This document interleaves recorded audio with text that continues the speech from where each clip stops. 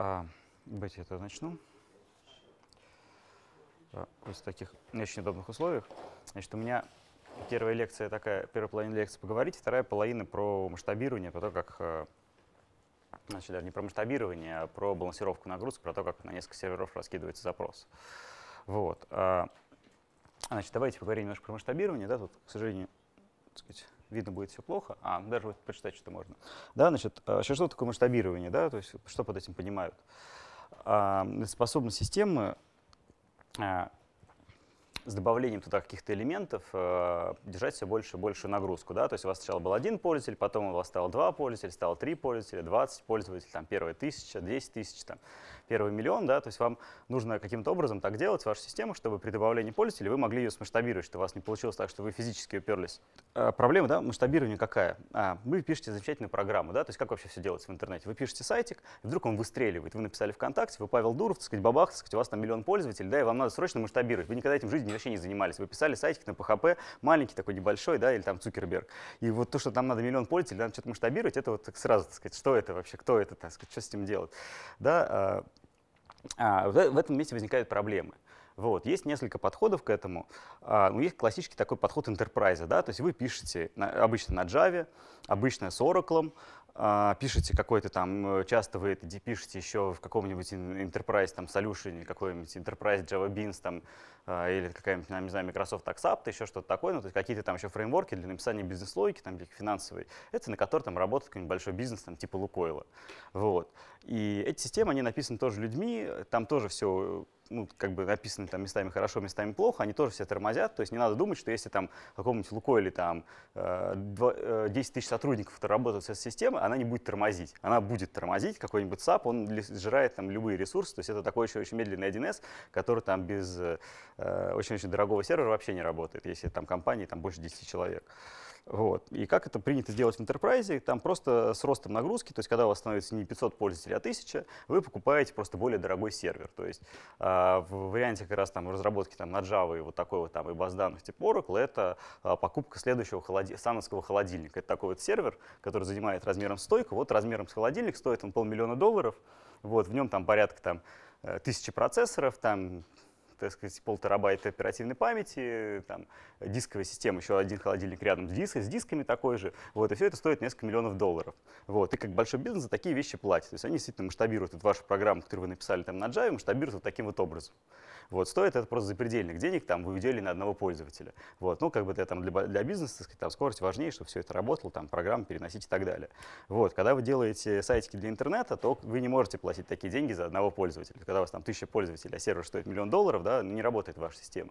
То есть вы э, изначально строить сайтик из там, общедоступных компонент, да, community hardware, как там по-английски называется, то есть то, что дешевый там сервер, то есть купили там стоковый со скидкой за 1000 долларов, то есть одноюнитовый сервер, воткнули его в стойку, да, и на нем обслуживаете там, ну, не знаю, 100, 100 тысяч пользователей, да, то есть а на какой-то момент все равно, то есть надо понимать, да, что вот мы не можем на одном сервере физически обслужить там 50 миллионов там человек, да, там, насел, там активное население России, ну, как бы не влезет в один сервер, ну, никак, там, если видео смотреть, да, то есть там, ну, не бывает даже таких проводов, в которые можно этот трафик запихнуть, даже если сервер справится. Вот, то есть там на заре интернета, когда мы там этим начинали заниматься, то есть вот коллеги рассказывали такую историю, что когда вот, вот трафик Mail.ru случайно, так сказать, воткнуть проводом в один, в один компьютер, то, он, то есть у него падает загрузка ЦПУ в ноль, а, диски тоже не работают. Единственное, что у него упирается 100%, это прерывание сетевой карты. То есть вот, кроме обработки сетевой, прерывания сетевой карты он больше ничего не делает. То есть как бы процессор уходит в прерывание, и полезная нагрузка не обрабатывает, потому что прерывание занимает все время работы. Сейчас не так, сейчас сетевые карты поменяли, я это рассказывал там на предыдущей лекции, сейчас сетевые карты работают по-другому, эту проблему уже решили. Но вот были времена, когда вот даже уже там для достаточно большого проекта просто вот трафик, который идет на несколько серверов распределен, воткнуть в один сервер, он физически просто уходил в, интер... в прерывание от сетевой карты, то есть он не в состоянии был такое количество пакетов даже просто прочитать сетевой карты. Да, то есть как бы, пределы физические, да, как бы оборудования, они есть, они не очень большие. То есть, ну, есть просто какие-то физические пределы, типа скорость света, да, когда мы там не можем что-то больше там запихнуть в одно оптоволокно, там как, ну, то есть и так далее. То есть лимит всегда есть, и когда мы там говорим про миллионные аудитории, ну, никак мы в одну железку не можем э, э все это э, запихнуть. И встает задача, как нашу программу разнести на несколько, на несколько машин. Вот. А, то есть те методы, которые изучаются, вообще, ну, как подходы к разработке, которые изучаются там в институте, там, ну, какой-то такой вот академическом подходе, это, собственно, обычно, как правило, то есть всякие транзакции в баз данных и прочее, это все рассчитано на то, что вы это все делаете там, более-менее там, локально в пределах, ну, там, в пределах одного инстанса, одной базы данных, там, какого-то одного сервера, одно, одного приложения. Вот, и, как правило, никто не говорит, как надо писать программы распределенные. То есть, да, там есть в Java возможность там, удаленного вызова процедур, когда вы объект передаете на другой сервер, он там вместе со своими методами, данными уезжает, там исполняется, потом приезжается обратно, да, но в целом как бы вот э, все равно это как бы, ну, изначально подразумеваешь работать на одном сервере, потом как-то там удаленно, ну, то есть можно небольшие кусочки выносить, но э, как бы это нигде так вот не рассматривается, как эту архитектуру делать. А, ну, там какой-нибудь программный C++, там вообще никаких встроенных вещей для этого нет. То есть единственная там вещь, которую изучают да, в институтах, это а, то, что используется в, при программировании суперкомпьютеров, то есть всевозможные MPI, когда там процедура удаляет, вызывается на другом сервере. Да? То есть когда у вас баз данных, вряд ли вы через MPI будете там делать селект на, другом, на удаленной машине. То есть ну, так не получается. То есть они не для этого предназначены, то есть MPI там предназначен для распараллеливания нагрузки, там, когда это такие вычислительные задачи, которые там можно, они едят только процессоры, их можно аккуратненько раскинуть там на несколько машин. То есть вот прям э, штатных фреймворков для того, чтобы там, э, сделать вот полноценное масштабирование, там, раскинуть систему на неограниченное количество машин, как бы не бывает. То есть бывает только, это все делается уже на уровне архитектуры. То есть мы так проектируем свою систему, что а, делаем ее, ну, ее масштабируем. То есть делаем так, чтобы можно было поставить не один фронтенд, а несколько. То есть, так, то есть не делаем такой единой точки, без которой нельзя там, разнести на две машины. То есть, ну, там есть, ну, условно говоря, да, то есть там для, я там про это дальше буду рассказывать, да, но вот для там классического проекта, да, там типа почты или еще, самое главное, так сказать, неразделимый ресурс, это таблицы пользователей. То есть у нас есть табличка user, в которой есть логин, пароль, ну, там хэш, конечно же, от пароля, да, не, не в plain тексте пароль.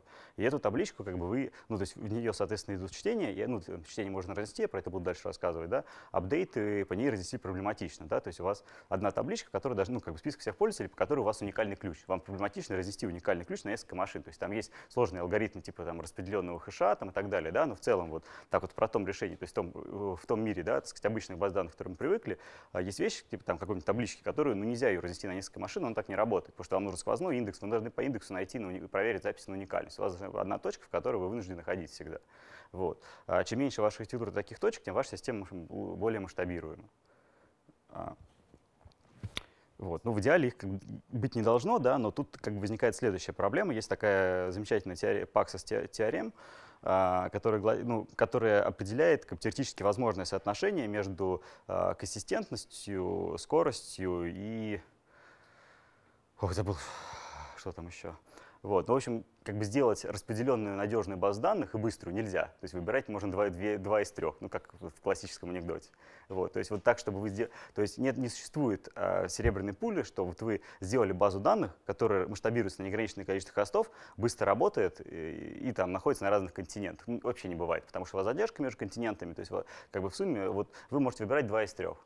То есть даже там при условии, что вы делаете идеальную архитектуру, то есть это как бы там теоретически верхний там, предел теплового двигателя. То есть выше вы не прыгнете, потому что это теоретический предел, а дальше вы можете сделать только хуже. Вот. А, ну, то есть все эти как, проблемы решают по-разному, да, то есть угла там они делают хитрым образом, что они там, ну, то есть они там поднимают целыми дата-центрами какие-то куски системы там и так далее, да, ну, то есть вот проблема то, что вот, ну, един, вот, единой точки вот какой-то вы не можете ну, то есть, вот, разнести как-то вот, э, не меняя систему так, что она будет работать маленькими независимыми кусочками, вы не сможете. То есть у вас в любом случае вам нужно будет выделять куски, которые будут работать более-менее автономно, и потом их как-то хитро связывать, чтобы не было узких мест.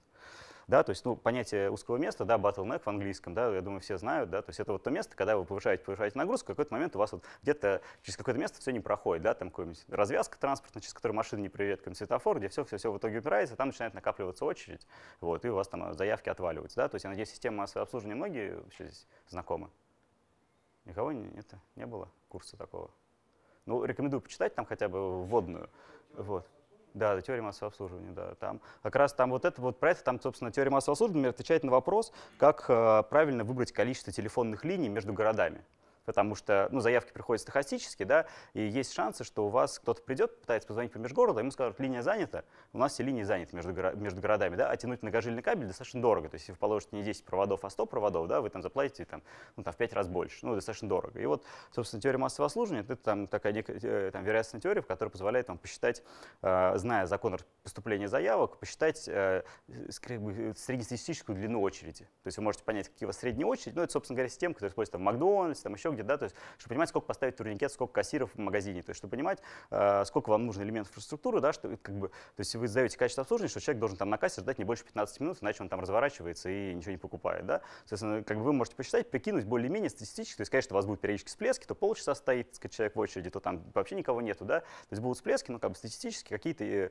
а, можно более-менее подобрать оптимальность. Есть теории, которые позволяют это оптимизировать. Вот, это вот, ну, они там, вот, теории массового обслуживания появились, собственно, с появлением вот таких вот систем, когда там массовых, когда много людей, так сказать, там, или каких-то этих заявок, то есть когда надо обслуживать большой поток заявок и как-то этим управлять э, качественном обслуживании. Вот, в интернете почти все то же самое, только у вас там заявки там не исчисляются не десятками там, и тысячами, а там миллионами, и, соответственно, тут немножко все по-другому. То есть как только у вас там где-то возникло узкое место, миллион заявок упирается в бутылочное горлышко, сразу все встает колом, то есть ваша база данных там очень быстро перестает работать в этот момент. Вот, в общем, ознакомиться стоит. Там оно немножко специфично, то есть там как бы практически там применения, они в основном всяких телефонии и прочее, то есть они вот к интернету так в чистом виде применимы, но общий принцип он полезен. В частности, там используется а, имитационное моделирование как раз для того, чтобы понимать э, длину очереди э, статистически. То есть, в принципе, любой из вас может написать небольшую программку имитационного моделирования, ну, там, задать элемент системы, что там вот там, человечек бежит сюда, так сказать, он там в среднем, так сказать, его там прием заявки занимает там, от 1 до 5 минут, да, и, ну, посчитать просто статистику, статистически, сколько люди ждали в очереди, ну, прогнав, так сказать, какое-то количество пользователей системы, да, то есть самый такой типовой вариант. Вот. А Мтрейд, конечно, никто таким не занимается, то есть никто не делает эмулятор э, своей системы, то есть все на живых пользователях экспериментируют, вот, ну и какой-то опыт используют. Да, то есть, но как бы теории, если вы там строите какую-то такую большую дорогую систему, то э, в принципе это можно даже прогонять имитационным лином, просто смотреть, как статистически будет вести заявки к системе. То есть вы когда там, ну то есть вы не будете, конечно, там делать какую-то сложную операцию обработки, вы просто считаете время, сколько она там занимает, и смотрите статистику, как заявки по системе гуляют. На каком-то Erlang, который, у котором все перенаписано на передаче сообщений, что-то такое написать совсем тривиально. То есть там главное статистики посчитать по очередям, то есть время ожидания там, и так далее вот на узлах, чтобы посмотреть, где будут узкие места в вашей системе, соответственно, увеличить количество там, элементов. Вот. вот про что-то подобное я буду говорить в отношении, э, в отношении интернета. Да? То есть если мы как бы берем а, какой-то наш э, вот такой вот сервер, там, на котором Павел Дуров твой запускал свой ВКонтакте, да, то ну, как бы у нас вот один сервер, в какой-то момент у нас растет, растет нагрузка, и мы упираемся в какое-то узкое место на этом сервере. Да, то есть это может быть база данных, то есть если сайт на каждый хит э, грузит страничку из баз данных, да, то как бы база данных, скорее всего, закончится быстрее, чем какой-нибудь веб-сервер. Ну, потому что там как бы работа она сильно больше. Веб-сервер, он достаточно тупой, как вы, ну, уже начали писать э, домашние задания, вы, в общем, поняли, что веб-сервер, это, в общем, ну, там, как бы, кроме всяких разных особенностей протоколов, там, ну, как бы, такой вот, э, чего-то сложного такого, чтобы ел ресурсы, там, в общем, нет. Да, то есть, ну, там, это вот, он может работать практически на физических возможностях железа. То есть мы там можем отдавать э, вот 4 гигабита точно можем отдавать одним Nginx файлов, если, ну, если мы не упираемся в русский диск, то вот 4 э, гигабита можно спокойно отдавать видео в интернет спокойно с машинки, можем и 10 вот, есть машинка там помощнее. То есть, как бы мы, вот, например, такие вещи уже не упираемся. То есть веб-сервер может выдавать столько, сколько хотите. Если у него нормальная архитектура, если он как бы правильно настроен и прочее, с этим сейчас проблем нет. Да? Баз данных упрется скорее. Вот. Но опять-таки, если вы вдруг у вас там не а, не, там, не джины, ну, там, если у вас какой-нибудь Apache, например, там статику отдает, да, то вы, в принципе, и в Apache можете упереться. То есть тут зависит уже от того, ну, как бы, если вы там совсем неправильные компоненты используете. Вот. Ну, там дальше, собственно, у вас уперлись в баз данных, ваша задача там раскинуть одну базу данных на несколько машин, вот, и вы должны уже придумать архитектуру, то есть менять структуру баз данных так, чтобы она там жила у вас на нескольких машинах, да, то есть там есть там всякие методы, типа ну, партишенинг, там, э, шардинг, вот. Про них я там более подробно буду на следующей лекции говорить. Да? Но общий принцип такой, что вот вы упираете какое-то узкое место, вам нужно это место масштабировать, как-то разнести, чтобы оно у вас перестало тормозить, и как бы у вас какой-то запас появляется. Дальше вы опять, собственно, там, не знаю, сносите базу данных на отдельный сервер, да, то есть у вас, условно говоря, там было там 50 на 50 нагрузки занимала одна, э, что-то другое и баз данных. Вы баз данных вывесите на отдельный сервер, да, у вас теперь две машины, вы можете продолжать жить, так сказать, там потом приходит еще пользователь, вы должны еще что-то как-то менять в системе. Но постоянно у вас будет какое-то узкое место, как бы в идеале вы, конечно, должны ну, а, предугадывать, где вы, ну, то есть как бы там из опыта, из каких-то общих соображений, из того, что вы там наблюдаете за системой, за характеристикой, вы должны понимать, где будет следующее узкое место, и когда вы к нему будете подходить близко, вы должны своевременно его устранять, да, чтобы пользователи не страдали, потому что когда у вас сайт не работает, а вы там только отправляете заявку на покупку сервера, то, в общем, как бы ваш проект уже все. Ну, то есть, как бы, когда, то есть там, у, по-моему, Цукерберга было в этом фильме «Социальная сеть», да, что если ваш сайт не работает хотя бы час, то все, как бы уже больше вы никогда в жизни, больше вы никогда уже никто на вас ходить не будет. Ну, в смысле, смысле, расти вы уже перестанете. То есть, как бы вот как стартап, когда вот вы растете, так сказать, лавинообразно, да, если вдруг как, э, на, на этом вот росте таком безудержном будут такие пики, когда сайт там по несколько часов недоступен, то как-то это вот рост съедает очень сильно, и, в общем, если тот, кто так не падает, параллельный стартап э, будет более, значительно более успешнее. То есть это очень важный момент. Ну, то есть когда там сервис более-менее известный, и он как бы очень ну, ну, там, нужен пользователям, это уже, наверное, не так страшно, но хотя тоже считается, что очень плохо. То есть то, там, одноклассники долгое время раскладывались с даунтаймом, то есть они ночью отпускали сервис минут на 30, а выкладывали новую версию Java, потому что она там на Java она так не умеет нормально. Там, когда в кэшах лежат объекты, если вы меняете класс, вам вынуждены сбрасывать кэши с остановок всей системы. Ну, Enterprise, там товарищи с Windows как бы приходили на Java, писали, и там их MS SQL базы, да, вот, и они вот, поскольку вот они такие вот из мира Windows, да, то они как бы, у них нормально, что базу можно потушить, сделать с нее ночной снапшот и включить обратно, да, а как бы оказалось, что это мир интернета, и они вот там год, по-моему, потратили на то, что они начали раскладываться без даунтаймов. То есть это как бы, ну, то есть это как бы, ну, такие структурные вещи, да, то есть люди изначально заложили в архитектуру, ну, потому что никто не думал, как бы занимались они там вот, ну, никогда не занимались интернет-проектами, и вот так случайно их проект выстрелил, да, но как бы эти проблемы приходится решать, потому что ВКонтакте не ложится, Одноклассники ложатся, да, так сказать, и как бы тут ты там ночью не можешь целый час войти в, в, в Одноклассники. Ты идешь в ВКонтакте, они, так сказать, не, не лежат ночью, ну, как бы вот так вот, э, да, так вот проект теряет популярность, ну, или недостаточно быстро растут. Соответственно, да, ну, масштабируемость можно там оценить э, как э, сколько вы должны затратить ресурсов, чтобы там увеличить э, производительность системы, да. То есть, ну, там идеальная масштабируемость, там линейная, это когда вы добавили 10% ресурсов, у вас на 10% выросла производительность, да. То есть в случае вот с ановскими холодильниками вы добавили там, не знаю, там 10% э, там, тысячу процентов ресурсов в деньгах, да, получили 10 процентов, там, 50 процентов прироста производительности, да, то есть, ну, вот эта вот масштабируемость нелинейная, вы просто очень быстро ваш интернет-бизнес прогорит, да, из хороших примеров, да, есть э, фирма Google, которая прибыльно работает на поисковом трафике, есть фирма Microsoft, которым онлайн-дивижн приносит э, 8, э, по 5 миллиардов убытков в год долларов, да, то есть э, э, как бы вот если люди приходят вот с этим вот enterprise, пытаются делать интернет, у них получается дико дорого. Вот, когда там, Microsoft пытается делать интернет, да, у них даже поиск там более-менее работает, да, то есть у него там доля только маленькая, но стоит он дорого, он не отбивается по деньгам, потому что он очень-очень дорогой. Слишком все это сделано как бы правильно. Вот. То есть интернет делается на дешевом железе, на очень, как бы экономится на всем и делается все максимально просто. То есть там вот я дальше буду рассказывать про транзакции, например, да, то есть, например, никто, ни одни э, нормальные интернет-проекты крупные в здраво уме твердой памяти не используют транзакции. То есть делается просто такая структура баз данных, когда э, база может быть немножко неконсистентная, но она там вычищается потом фоновыми скриптами, еще что-то такое. То есть вы просто строите, ну там делаете не одну операцию в транзакции, делаете некоторую последовательность операций, так, чтобы если она, она застанет в промежуточном статусе, чтобы это был понятный статус, что произошло с ее в обратно, или в другую сторону уже в ручном режиме. То есть так, что вот, вот эти вот классические механизмы транзакции, мы лочим квитатское количество строк в непонятных таблицах, все это накатываем, а если что, откатываем, это вот когда вы идете, так сказать, там, э, с десятками тысяч запросов в секунду на базу данных, это все не работает. Оно там, вот если у вас эта транзакция где-то что-то зацепило, и там как на снежный ком начали одни другие транзакции накладываться, оно там все, вы просто там где-нибудь память у вас кончится оперативно на сервере, и база упадет просто-напросто в секфолд какой-нибудь. Вот. Соответственно, да, вот эти два подхода, которые мы обсудили. Да, тут как бы все достаточно просто. Да. Есть, э, называется это, как правило, верти, ну, то есть, как вертикальное горизонтальное масштабирование. Вот. Вертикальное масштабирование мы увеличиваем мощность текущего железа, горизонтальное масштабирование добавляем как бы еще, таки, еще, тако, еще такого же. Да, то есть, э, ну, в принципе, вот я могу почитать. Ну, собственно, классический вариант э, вертикального масштабирования, там, добавить процессоров памяти дисков, вот. А если ваш серверок уже достаточно старый, там куплен три года назад, вы просто покупаете новый за те же деньги, он будет в два раза мощнее. Вот. Если ну вот дальше, так сказать, если вы покупаете там сервер уже не среднего ценового диапазона, там, а топового ценового диапазона становится сильно, ну то есть на как, процент увеличения мощности он становится значительно дороже. То есть да, тоже ну, в рамках такого более-менее коммунити хардвера можно купить помощнее сервер, но он там будет стоить дороже. То есть, условно говоря, у вас там, 4 э, гигаб... ну, там 8 гигабайтной плашки и 4 гигабайтной плашки оперативной памяти стоит там один, ну то есть практически гигабайт вам стоит по одинаковой стоимости, а когда вы хотите купить 16 гигабайтные плашки, они уже начинают стоить там, э, там например, на 50% дороже, то есть гигабайт памяти вам То есть, когда вы покупаете там, там максимальную вместимость, максимальной скорости железа, начинает, ну как бы оно там начинает геометрически, какой, ну, какой-то момент у вас линейный рост, ну там дешевое, так сказать, да, железо, дальше оно начинает идти геометрически.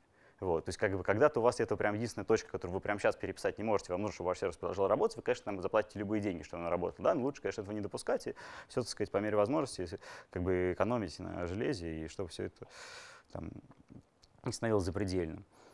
Вот. А, ну, соответственно, да, то есть то, что соотношение просто производительности на вложенные деньги стремительно падает, так сказать, с, с ростом уровня железа. Вот. И самое главное, что а, все равно рано или поздно наступит момент, когда не хватит. То есть вы не сможете купить более мощный сервер, чтобы решить проблему с производительностью. Ну, просто как бы не бывает таких серверов, не сделали их еще. Если они появятся через два года, но вас, так сказать, не спасет.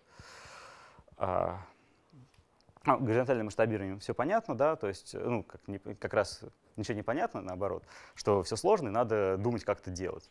Вот. Э, ну, собственно, пытаемся разнести каким-то образом нагрузку на несколько серверов. Вот каким, собственно, в этом и есть все ноу-хау, как живут интернет-проекты, и как им удается там, э, с парка в несколько тысяч серверов э, не запутаться в этом всем и продолжать обслуживать пользователей с достаточно хорошим качеством. Ну, как бы там местами достаточно удивительно. Ну, то есть там, если брать сравнение с, там, с тем же самым банковским сектором, да, когда какой-нибудь Сбербанк, например, на сутки вдруг у него перестают работать карточки, да, и так далее. То есть интернет-бизнес вот так, чтобы день не работал, ну, это прям редкий случай. То есть, например, даже там с теми банками встречается чаще, чем с интернетом. Вот, хотя там enterprise, и э, все это там 10 раз перепроверяется, там и тестирование, и все. Вот. В интернете почему-то все очень достаточно хорошо, ну, как бы, по крайней мере, для пользователя, так, что вот сервис не был доступен совсем, работает все хорошо. То есть, конечно, люди, которые с этим работают, они видят проблемы каждый день, они там, в общем, работают, очень часто работают в режиме пожарных, когда потушили в одном какую-то проблему, если в другом побежали тушить, но в среднем для пользователей как бы это не особо заметно, потому что там каждый раз страдает не очень большая доля пользователей. Вот. Ну и зависит, конечно, от организации процесса, от того, насколько как бы, там, система там, в активном росте и так далее. Вот. А, но основная проблема с горизонтальным масштабированием, то есть это требует изменения архитектурной в системе. То есть если вдруг эту программу, которую вам нужно смасштабировать, написал кто-то другой, ее никто не знает, она как-то работает, то вам очень тяжело будет ее горизонтально масштабировать, потому что вам надо будет ее разобраться, как она работает, переписать заново, аккуратно, так сказать, не наступ, так сказать, э, перенеся э, те же самые баги, которые были допущены в той программе, потому что попытавшись починить эти баги, вы, скорее всего, возможно, порушите еще какие-то фичи не случайно. Вот.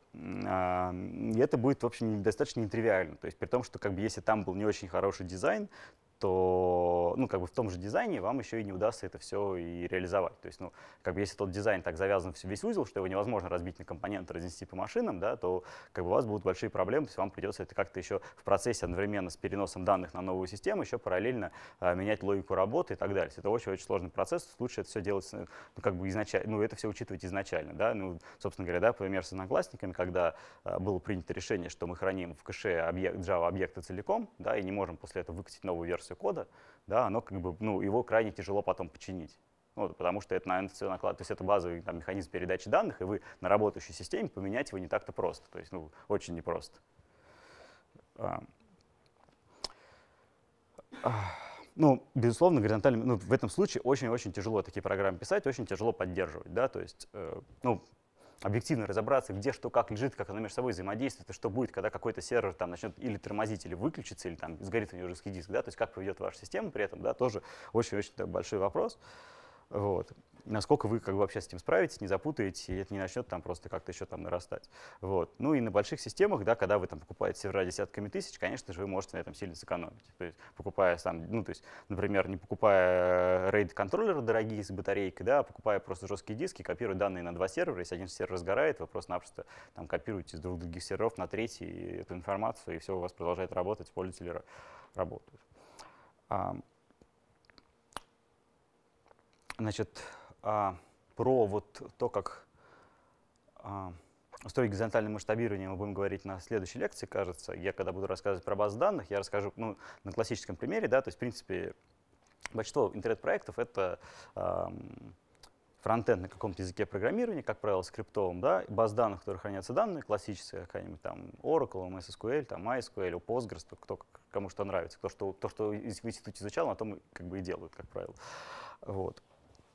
А, ну и как бы первые, ну обычно все упирается сначала в базу, поэтому, как правило, масштабируют базу, код, он как бы в принципе более-менее задавливается железом. То есть вот а, фронтенды перлячку, там какую-то питон, это все, ну, если там прям совсем не ужасно написано, если никто не, не, там, не использует какой-нибудь ОП и красивый, так сказать, там ORM, еще что-то такое, то оно более-менее, ну, там задавливается железом, то есть у вас, конечно, там будет не 20 фронтендов, например, на Node.js там, или какому-нибудь Nginx Lua, ну, будет там у вас там 200 фронтендов на перле, например. Ну, в принципе, и фиг бы с ним, это, в общем, не такие большие деньги, там, пересчете на 20 миллионов пользователей, да, вот. А, то есть, в принципе, фронтенды более-менее, ну, то есть, если фронтенд stateless, он сам у себя ничего не хранит, он только а, является бизнес-логикой по работе с базой данных, да, то его можно, ну, как бы логично, что один фронтенд отличим от другого. У него внутри локально ничего нет. То есть он ходит в базу данных, отдает ответ пользователю. То, что мы поставим не один фронтенд, а два, три, четыре, вот так в линейку, в общем, как бы никакой проблемы не будет. То есть они все, ну, как, собственно, воркеры Apache, да, то есть тоже их там 20 штук, они ничем друг от друга не отличаются. То есть у вас уже как бы изначально в архитектуре Apache заложена масштабируемость. То есть вы э, в Apache уже пишете программу, которая работает больше, чем на одном воркере Apache, и она, ну, собственно говоря, у вас есть 20 воркеров, вы там добавили память в сервер, поставили настройку э, Apache, что у вас теперь 40 воркеров на сервере, да, то есть вы уже масштабируете, у вас уже как бы Apache уже предназначен для масштабирования. Единственное, что в какой-то момент вы упретесь просто в, в размер сервера, что вы больше туда воркеров Apache поставить не сможете. Ну и констант вам в Apache придется поменять, который задает максимальное количество воркеров, 256, она в Apache 1.3 э, зашита константой define. Просто вы можете поставить 1024, у вас будет 1024 воркер, да, по умолчанию 256, придется там сорцы перекомпилировать, вот, например. А, ну, в целом, как бы фронтенд это самое простое место, которое можно масштабировать, про него мы сейчас поговорим. Да? Про базу данных я буду говорить дальше. Вот, про бизнес-логику это вообще сложно, то есть я вот не могу придумать, как на лекции рассказать, так, чтобы это было понятно, есть, потому что это очень-очень специфично под каждое приложение. То есть уже, когда, ну, то есть, когда приложение создается с нуля, его, как правило, создают люди просто по предыдущему опыту, то есть они уже что-то такое делали, делают так же, ну, чтобы не ошибиться, потому что так вот от балды делать это тяжело. Вот. А когда уже что-то есть, то все равно делается уже на основе предыдущего опыта, и везде архитектура разная. То есть всегда это прям, ну, там, универсального способа написания программы, конечно же, не бывает. То есть каждая программа уникальна. Вот а, соответственно, балансировка нагрузки. Да? Соответственно, когда у нас, э, ну, то есть мы, допустим, у нас одна база данных, в баз данных мы не упираемся, то есть, ну, или там с баз данных мы делаем что-то другое, вот, или баз данных у нас нет вообще, например. То есть, ну, у нас, например, не знаю, там фронтенды, которые отдают э, статику, да, то есть у нас не знаю, там какие-нибудь фишки нет, э, вы там сгенерили эти картинки все на диск просто в виде статических файликов, на фронтенды раскидываете каким-то бесхитростным рсинком, там в 12 часов ночи файлик, и ваша задача с этих фронтендов отдавать много-много э, много-много хитов. Да, то есть, э, ну, то есть схему там, раздачи контента на, проект, на, проект, на фронтенды мы опускаем, их там может быть достаточно много, и это не очень сложно. Да? То есть дальше у вас есть идентичные фронтенды с идентичным содержимым, которые дают трафик в интернет. А как их собственно говоря, как сделать так, чтобы все пользователи не ломили. Ну, как вы знаете, да, э, вот вы обычный там сайт настраиваете, вы там указываете, что вот это доменное имя смотрит вот на такой IP-адрес, да, и у вас там живет сервер. Вот когда у вас э, становится больше одного сервера, становится больше одного IP-адреса, и вы, как бы у вас становится проблема, как вам на несколько IP-адресов раскинуть пользовательские запросы. Вот об этом мы сейчас поговорим. То есть это э, называется балансировкой нагрузки, то есть то, как равномерно, ну, потому что тут же стоит задача не только раскинуть их на несколько IP, но и раскинуть их равномерно, чтобы, ну, там, и как-то пропорционально, чтобы все сервера были загружены, э, все, ну, там, нужным образом, да, там, пропорционально, да, то есть там, сбалансированно. Да, то есть поэтому называется это балансировка нагрузки, в английском варианте это называется там, load balancing, э, железка, которая этим занимается, там, или программа называется load balancer, ну, все более-менее понятно. А, ну, собственно, выглядит там вот условно говоря, так, вот это пользователи, вот это сервера, а вот здесь какая-то хитрая штука, благодаря которой пользователи попадают в не один сервер, а на несколько. А, давай, значит, сначала немножко про алгоритмы, которыми таки, э, делается балансировка. А, значит, а, ну что можно придумать, да, вообще? Ну, то есть вот у нас есть n серверов, на которые можно пойти, да, то есть, ну, самый тупой вариант э, случайным образом. То есть кидаем кубик, у нас 10 серверов, одна из 10, один, э, то есть от 1 до 10 номер сервера. Кинули кубик, посмотрели, пошли на этот сервер. То есть технические дели, э, детали сейчас не рассматриваем, по них попозже. А, ну, в принципе, нормальный алгоритм. Вот. Ну, то есть как бы управляющий узел, просто каждый раз кидая кубик, раскидывать на машинке. Вот. Единственный минус, что там на маленьких нагрузках и тяжелых запросах а, у вас, грубо говоря, будет не очень, будут не очень равномерно распределяться заявки. То есть а, они же будут случайным образом, да, то есть иногда может, например, на один сервер долго не приходить, на другой, наоборот, там две подряд придут. Ну, потому что вероятность, она там, ну, такая, да, то есть есть вероятность, что события будут достаточно близки, а есть, наоборот, что дальние, что, ну, как бы вот если заявки большие, длинные и приходят редко, то, в принципе, балансировка будет не очень хорошая. Вот. То есть есть другой метод, который даже не, для которого даже не нужен генерация случайных чисел, что тоже, в общем, задачка, то есть генерация случайных чисел получить хороший равномер, хорошо распределенный, да, ну там и, а есть псевдогенератор, но тем не менее, да, это раунд-робин. Раунд-робин это когда у вас есть, э, вы сохраняете указатель, какому серверу последний раз вы отдавали за, запрос. Собственно говоря, в следующий раз отдаете следующему серверу по списку, инкрементите, инкрементите каунтер. И так по списку. То есть у вас всегда запросы идут первый, второй, третий, четвертый, первый, второй, третий, четвертый. Вот. Э, вы как бы всегда раскидываете их просто, ну, просто по циклу. Поэтому называется раунд-робин, то есть э, циклический алгоритм. Вот. Если серверов у вас э, сервера у вас, например, неоднозначные, какие-то помощнее, какие-то послабее, то есть вариация этого алгоритма, а, называется взвешенный раунд-робин, когда вы а, ну, там, делаете, условно говоря, последовательность, то есть, например, АА, Б, BC. То есть у вас сервер А имеет вес в два раза больше, чем B и C. То есть сначала вы делаете два запроса на сервер А, один запрос на сервер B, один запрос на сервер C, ну и потом также как бы заново. То есть у вас один там сервер встречается в вот этой цепочке раунд-робина больше одного раза, и, соответственно, таким образом вы балансируете веса. А, вот. Ну, вот, в принципе, вот эти три метода, там, ну, соответственно, раунд-робин, рандом тоже может быть взвешенный таким же образом, да, то есть ничто не мешает сделать взвешенный рандом. А, вот ну, там более-менее вот э, взвешенный рандом, взвешенный раунд-робин — это основные методы, которые используются в балансировке. Вот. Остальные, они экзотические, про них немножко расскажу. Да? То есть, соответственно, тоже есть э, возможность э, теоретически, вы можете на балансере понимать, что сервер, на котором меньше всего соединений, он, на ваш взгляд, меньше всего загружен. Соответственно, следующий запрос надо отдать на сервер, который меньше всего соединений. Да? Такой метод балансировки будет называться list connections, меньше всего соединений. Вот. А также можно, например, пытаться оценить загрузку сервера по времени ответа, что если, например, последний ответ с этого сервера был там а, самый маленький из всех остальных серверов, то мы считаем, что этот сервер самый мало нагруженный, и тоже ему следующий запрос отправим ему, пока у него время ответа не возрастет. Вот. А, ну и там третий вариант из таких тоже. Мы, например, можем пытаться каким-то образом снимать с сервера какую-то метрику, как он, насколько он загружен, и по этой метрике тоже использовать ее для балансировки. Вот. А, это, в общем, все экзотика, не работает оно по следующей причине, потому что вот, вот эта вот обратная связь, получаемая от сервера, по которой как бы, алгоритм пытается балансироваться, она очень э, как то она получается с задержкой, и вы успеете на сервер, то есть пока вы получили от сервера радостный сигнал, что на нем слишком меньше всех соединений, и, и пока вы получите следующий сигнал, что на соединении на нем уже много, а вы успеете на него столько соединений, ну, накидать запросов, что он уже там сильно перегрузится. Вот. То есть, ну, потому, ну, потому что не все соединения одинаковые, какие-то запросы тяжелые, какие-то легкие, и просто считать по соединениям, скорее всего, не получится. То же самое, собственно, по response time, то есть если у вас вдруг сервер случайно на какой-то легкий запрос ответил быстро, и вы туда сейчас парочку тяжелых запросов закинете, тоже, скорее всего, будет все плохо.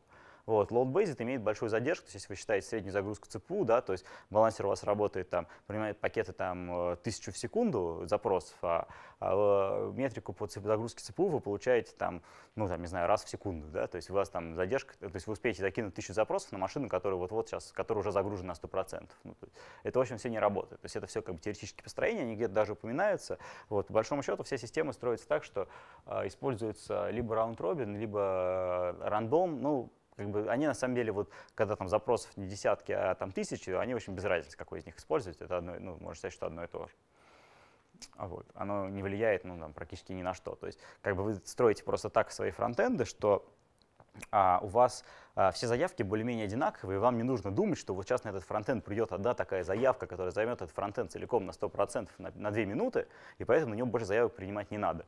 Вот в этом месте так делать не надо, не стоит. Э, надо просто делать две группы фронтендов отдельных. Одна обрабатывающая тяжелые заявки, одна обрабатывающая легкие заявки, и балансировать их отдельно. То есть в одном балансере учитывать э, ну, там, принципиально разные типы запросов не стоит. Вот, это точно совершенно... Вы, очень, ну, вы потратите очень много сил на совершенно бессмысленную работу. Теперь по технологии. Значит, а, самая простая, с которой даже кто-то из вас может быть знаком, а, это а, технология Round Robin DNS. А, вы можете в ответе с вашего DNS-сервера ответить на, один, э, на одно доменное имя больше, чем одним IP-адресом. Вы можете выдать два IP-адреса, можете выдать три, четыре и так далее.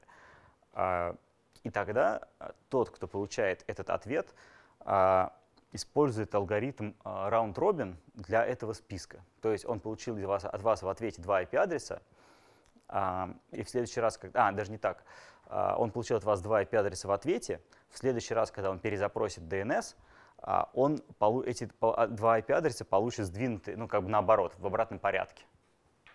То есть клиент каждый раз, когда ваш DNS-сервер дает DNS-ответ, он сдвигает э, циклический список IP-адресов на единичку таки, таким образом, когда он получает много DNS, то есть он разным клиентам отдает э, IP-адреса в разном порядке, ну, сдвигает просто цикл, э, список на один элемент, один берет снизу, ставит его сверху. Вот, таким образом, много-много разных клиентов резолвит э, э, DNS-адрес. Все же знают, да, как система DNS работает. То есть не надо про это останавливаться. Да? То есть на 53-м порту DP, TCP, да, то есть все это все, все знают. Вот. То есть какой-то там резолвер приходит на DNS-сервер, он ему отвечает в ответ, что как бы вот первый IP такой, второй IP такой. Клиент берет первый IP-адрес. Следующему клиенту он отвечает, что на IP-шник другой. Вот. Таким образом, как получается немножко распараллель, ну, балансировка нагрузки. Вот. А, да, э, значит, в принципе, вот этот вот сдвиг цикла, он делается как на вашем исходном сервере по циклу, так и на последующих кэширующих DNS-серверах. Ну, то есть, чтобы они тоже, в свою очередь, балансировали нагрузку. А, то есть вы, например, отдали какому-то DNS-серверу крупного провайдера, он у себя это закэшировал, и когда клиент уже спрашивает у него, он тоже их выдает вот таким со сдвигом каждый раз. То есть пытаясь тоже балансировать. Собственно, это поведение, описанное в RFC 1794, DNS Support for Load Balancing. Вот. То есть это как бы еще там какие-то там, по-моему, 94, чуть ли не год, по-моему. То есть это еще там до 2000 года совершенно точно это, эту технологию добавили в DNS, когда уже как бы load balancing стал актуален. То есть это достаточно древняя технология, вот, до сих пор успешно работает. Вот. А, ну, клиенты берут первый адрес из списка, я это говорил. А, ну, вообще в DNS, да, еще есть, сразу про особенности DNS немножко поговорю, которые нас беспокоят. А в DNS вообще есть такое понятие, как TTL.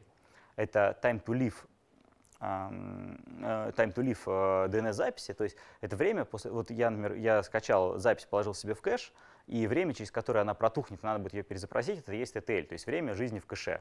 То есть если TTL у нас стоит одна минута, то резолвер, если он пытается обратиться к этому хосту а, после истечения этой минуты, он обязан перезапросить данные с э, вышестоящего сервера по этой зоне, э, чтобы ее получить новые данные. Соответственно, в следующий раз он придет, ну, с какой-то вероятностью придет в другом порядке IP-адреса, он будет ходить на другой IP-адрес. Вот. А, ага. Вот. А, Соответственно, а зачем делать, ну, как бы, как выбирается TTL? То есть если у вас а, сервер один, больше другого нету, и вы не планируете менять хостинг часто, вот, то, в принципе, вы можете ставить TTL достаточно большой, там, несколько часов, даже дней. Вот так раньше и делали. Если у вас серверов несколько, и вы их балансируете э, DNS, то у вас есть риски, да, что вы один из ваших серверов вдруг, например, сгорит. Ну, так бывает, там жесткий диск сгорел, там блок питания, еще что-то, да, и у вас он не работает, да, а вы кому-то клиентам выдали уже, что он в ближайшие сутки ходи на этот IP-адрес, да, то есть у человека, у какого-то отдельно взятого человека целый сайт, сайт будет, ну, день сайт будет недоступен. Это как бы очень грустно, поэтому а, в таких случаях, как правило, при использовании DNS-балансировки выставляют очень короткий TTL, то есть там либо одна, либо 5, либо 10 минут. Вот. А, таким образом, если вдруг э, сервер упадет, мы убираем, мы убираем его из DNS-балансировки, а, ну, не можем быстро его заменить на этом же IP-адресе другим. А, и там, ну, там пользователи пострадают там, 5 минут, и после этого а, уже перестанут на него ходить. Это на самом деле в теории, на практике это происходит немножко по-другому. Есть провайдеры, которые зачем-то кэшируют по своим каким-то внутренним причинам а, кэшируют DNS принудительно на большее время, то есть говорят, что нет, TTL в одну минуту мы обеспечивать не хотим, нам на это наплевать, мы поставим TTL полчаса на все ответы, которые мы получаем. Вот. Таких, к счастью, немного. И, в принципе, если вы вот так вот выключаете IP-адрес из DNS-балансировки, то где-то там через первые полчаса у вас э, пропадет там 95-99% трафика. То есть через сутки там почти ничего не останется. У нас останутся какие-то там доли процента. Вот. То есть, в принципе, метод более-менее работает. То есть можно исключать машины из DNS-балансинга дня через 3-4, после того, как оттуда свалится основная часть клиентов, которые принудительно закэшировали, в принципе, их можно выключать, если там не очень большое количество пользователей пострадает. То есть это можно использовать, например, для планового обслуживания какой-то. То есть вы, например, планово, у вас так получилось, что вы, например, в той площадке, на той площадке, когда вы ставили сервера, у вас физически кончились места. Ну, все как бы купили места, а вам нужно расширять ваш кластер. Вы затеваете переезд на другую площадку, новую, большую, где куча места свободного вы переключаете, добавляете, ну, поднимаете новые фронтенды на новые площадки, а, меняете IP-адреса в DNS, ждете, пока со старых IP фронтендов пропадет трафик, выключаете их, переводите на ту площадку, доставляете их туда уже с новыми IP-шниками и, собственно, радостно переехали. Да? Но как бы надо точно, надо всегда помнить, что DNS не пропадает мгновенно. Вы не можете отключить э, мгновенно DNS, что там вот TTL одна минута и все. Да? У вас всегда будет идти очень большое количество трафика по старому адресу, ну там, знаете, заметное количество трафика по старому адресу, и вы уж точно не, там, после первой минуты там, не, не сбросится количество трафика там, все. То есть вы там в течение там, получаса первого, да, основная масса, потом еще в течение суток еще какая-то часть. То есть все равно там кэширующих приблизительно DNS-серверов достаточно много. А, вот. С DNS еще была такая проблемка забавная, например, а, сейчас принять чуть позже. А, значит, а, какие есть проблемы да, у DNS? Я сейчас посмотрю, что у меня там достоинство. О, нет, это я потом. Значит, вот этот механизм балансировки, он не обеспечивает хорошую балансировки между фронтендами. То есть кажется, что оно должно распределяться более-менее равномерно по фронтендам. На самом деле происходит следующая вещь. Вот этот ваш вот DNS round robin, он каким-то образом кэшируется на каком-нибудь провайдере большом, э, крупном, э, типа стрима, принудительно кэшируется IP-адрес вот вашего одного сервера, и все клиенты стрима начинают ломиться на, этого, на этот ваш фронтенд. И дисбаланс вот по, при DNS-балансировке между фронтендами может достигать, я вот на нашей системе смотрел, по-моему, перед подготовкой этих лекций осенью, а, кажется, вот я видел в 5, 10, от 5 до 10 раз. Видел дисбаланс между, там, когда в DNS-балансировке там, 50 э, фронтендов, то разница между самым маленьким и самым большим может достигать там, 10 раз по нагрузке. Вот. То есть чем больше фронтендов, тем, соответственно, больше разницы. То есть больше вероятность, что один конкретный фронтенд закэшируется в каком-то очень большом провайдере, на него должно долмиться большое количество пользователей. Вот. А, то есть чем больше фронтендов, тем сильнее дисбаланс между машинами. А, и а, здесь есть такой нюанс, который был э, введен Windows Vista. А, Windows Vista хотела вот в этом DNS-ответе решили э, разработчики Microsoft, что было бы круто, если бы мы брали, а, вот когда нам в DNS отдают несколько IP-адресов из разных точек мира, мира, мы будем брать тот IP-адрес, который, на наш взгляд, находится ближе всего к пользователю. Вот. И э, начали брать ближайший. Вот, то есть, соответственно, у вас есть, например, у вас кончилась одна IP-сеть, вы получили вторую IP-сеть в другом диапазоне, у вас эти фронтенды стоят на одной площадке, но в разных сетях. Вы добавляете, у вас там, добавляете новые фронтенды с новыми IP-адресами, добавляете фронтенды, у вас осталось фронтенды со старыми IP-адресами, ну, из разных сетей. И у вас все клиенты Windows Vista ходят на один IP-адрес, который по, вот, там, из 20, которые вы выдаете, который, на взгляд Windows Vista, кажется самым ближайшим к этому пользователю. Вот, то есть когда Vista там начал, то есть это было там, в восьмом, что ли, году, когда Vista появилась, и это выглядело, ну, просто совершенно эфирически, когда мы обнаружили, что у нас на один фронтенд, постоянно как бы один фронтенд всегда под нагрузкой.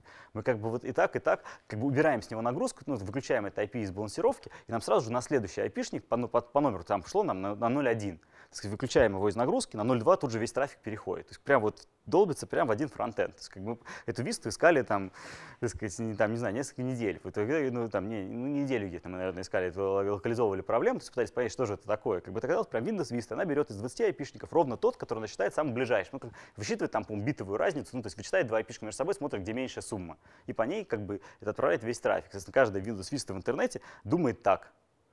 Вот. То есть они это починили, они сделали какой-то патч, там раскатили его, это Windows Vista перестал себя вести, но в этот момент, собственно, мы, у нас эта DNS-балансировка сломалась, потому что у нас как бы этот вот бедный несчастный фронтенд с самым маленьким IP-адресом, на него шла вся нагрузка, которую как бы, генерируют клиенты Windows Vista, а их тогда было там 20% пользователей интернета, то есть вы не можете балансировать нагрузку между 20 фронтендами, когда 20% пользователей идет на один фронтенд. Ну, как бы, ничего не сделаешь. Вот. А, про это сейчас подробно расскажу, как с этим бороться. А, значит, достоинства. Да? А самое главное достоинство DNS — это простота и дешевизна. То есть настроить DNS-балансировку может каждый из вас, поставив, настроив, э, прописав в DNS-сервере контроль панели там, вашего регистратора два IP-адреса. Вот вообще ничего не надо делать, берете и делаете а, минимально. Собственно, а поскольку DNS такой протокол, в котором а, ответы DNS-сервера кэшируются, то, соответственно, нагрузка на DNS-сервер тоже очень минимальная. То есть по сравнению с другими методами балансировки, DNS практически не создает никакой нагрузки на балансер. А, а также а, очень большой плюс DNS то, что в DNS нет единой точки отказа, единой точки входа. DNS — это распределенная система. Вы как минимум, даже когда вы, у вас э, сервер с DNS, вы обраба- ну, обслуживаете сами, DNS стоит на вашем сервере, вы обязаны предоставить системе DNS резервный сервер, который будет отвечать на DNS-запросы, когда ваш главный сервер будет лежать. То есть вы обязаны для того, чтобы вас, вам э, делегировали домен, вы обязаны предоставить два сервера, находящихся в разных сетях на разных, у разных провайдеров.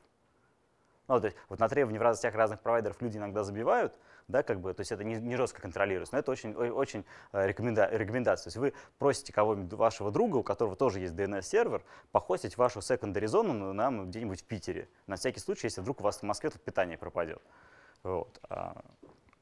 Например, то есть вы просите э, где-нибудь там, чтобы вашу зону похостили secondary зону, там опять-таки может быть не один резервный сервер, а 2, 3, 4 и так далее. То есть вы можете там, сделать 10 э, серверов, secondary серверов, которые держат реплику вашей главной э, зоны и, соответственно, хранят последнюю копию до того, как ваш мастер умер.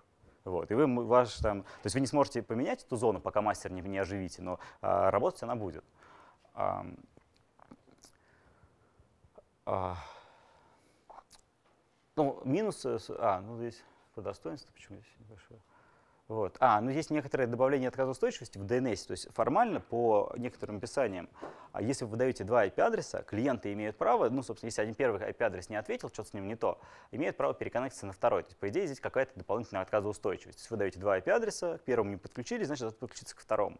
Вот. На практике это практически не работает, то есть там есть ситуации, в которых клиенты действительно второй адрес пытаются использовать, но, как правило, они делают следующее. Они пытаются приконнектиться к первому адресу, висят в попытке к нему подключиться там, в течение пяти минут, как потом говорят, что нет, все, что-то подключиться мне не удалось, и на этом останавливаются. То есть они не пытаются сделать ну, хитрый ретрай и попробовать второй IP-адрес. То есть клиенты это не делают, то есть теоретически они это могут, и даже это вроде как не запрещается, и даже там где-то рекомендуется, но, к сожалению, вот именно обработать ситуацию что вот да, это прямо сейчас проблема с этим сервером, надо пойти на другой, как-то вот, ну, то есть клиент это не заложено, самое главное, что в любом случае тайм-аут коннект, он большой, то есть э, клиент пытается к вам присоединиться, ваш сервер вообще ничего не отвечает с этого IP-адреса, а, и вот э, клиент, клиент там не, не пытается через 5 секунд подключиться к другому серверу, он будет ждать там 2 минуты, пока, пытает, пока этот сервер ему что вдруг что-нибудь не ответит. Ну, про недостатки частично уже рассказал. Значит, поскольку, ну, напомню, да, протокол DNS работает по 53 порту, и имеет работать по а, двум транспортным протоколам, по UDP и по TCP. А, соответственно, по умолчанию он работает по UDP, если у него влазит ответ, э, ответ DNS-ответ, DNS-запрос в 500 байт. Если больше, то он устанавливает для TCP-соединение для того, чтобы передать эти данные. Соответственно, в 500 байт ответа мы можем уместить не такое большое количество IP-адресов. Там порядка 30 где-то можно, по-моему, уместить, если, там, если посчитать, на всякие заголовки служебные и прочее. И, соответственно, если у вас 300 фронтендов, DNS 300 фронтендов вы балансировать не сможете, потому что, потому что вы будете вынуждены передавать информацию по TCP, это будет не очень, ну, там, не очень быстро работать, по DPN все-таки побыстрее и более привычно. Вот. То есть, например, собственно, есть куча системных администраторов, которые даже не знают, ну, плохо учились в институте, даже не знают о том, что DNS умеет работать по TCP. И в фаерволе оставляет только UDP 53 порт. То есть DNS просто по 53 порту по TCP не сможет передать эти данные, потому что системные администраторы забыли прописать в фаерволе. Такие вот бывают достаточно часто. то есть помимо того, что как пакетик будет большой, да, мы упираемся в то, что будет дисбаланс между конкретными фронтендами. Когда у вас много фронтендов, у вас дисбаланс возрастает. То есть когда у вас два фронтенда, между ними более-менее нормально распределяется DNS. Чем больше фронтендов, тем больше вероятность, что на одну конкретную машину придется аномально большой трафик. То есть из 300 серверов у вас, там, на 30 серверов у вас дисбаланс там может быть, не знаю, там 1 к 100 между самым слабо загруженным и самым большой. То есть очень большой дисбаланс. Вот. А про игнорирование TTL сказал на, на кэширующих серверах, то, что трафик не пропадет мгновенно, потому что TTL большое количество клиентов игнорирует.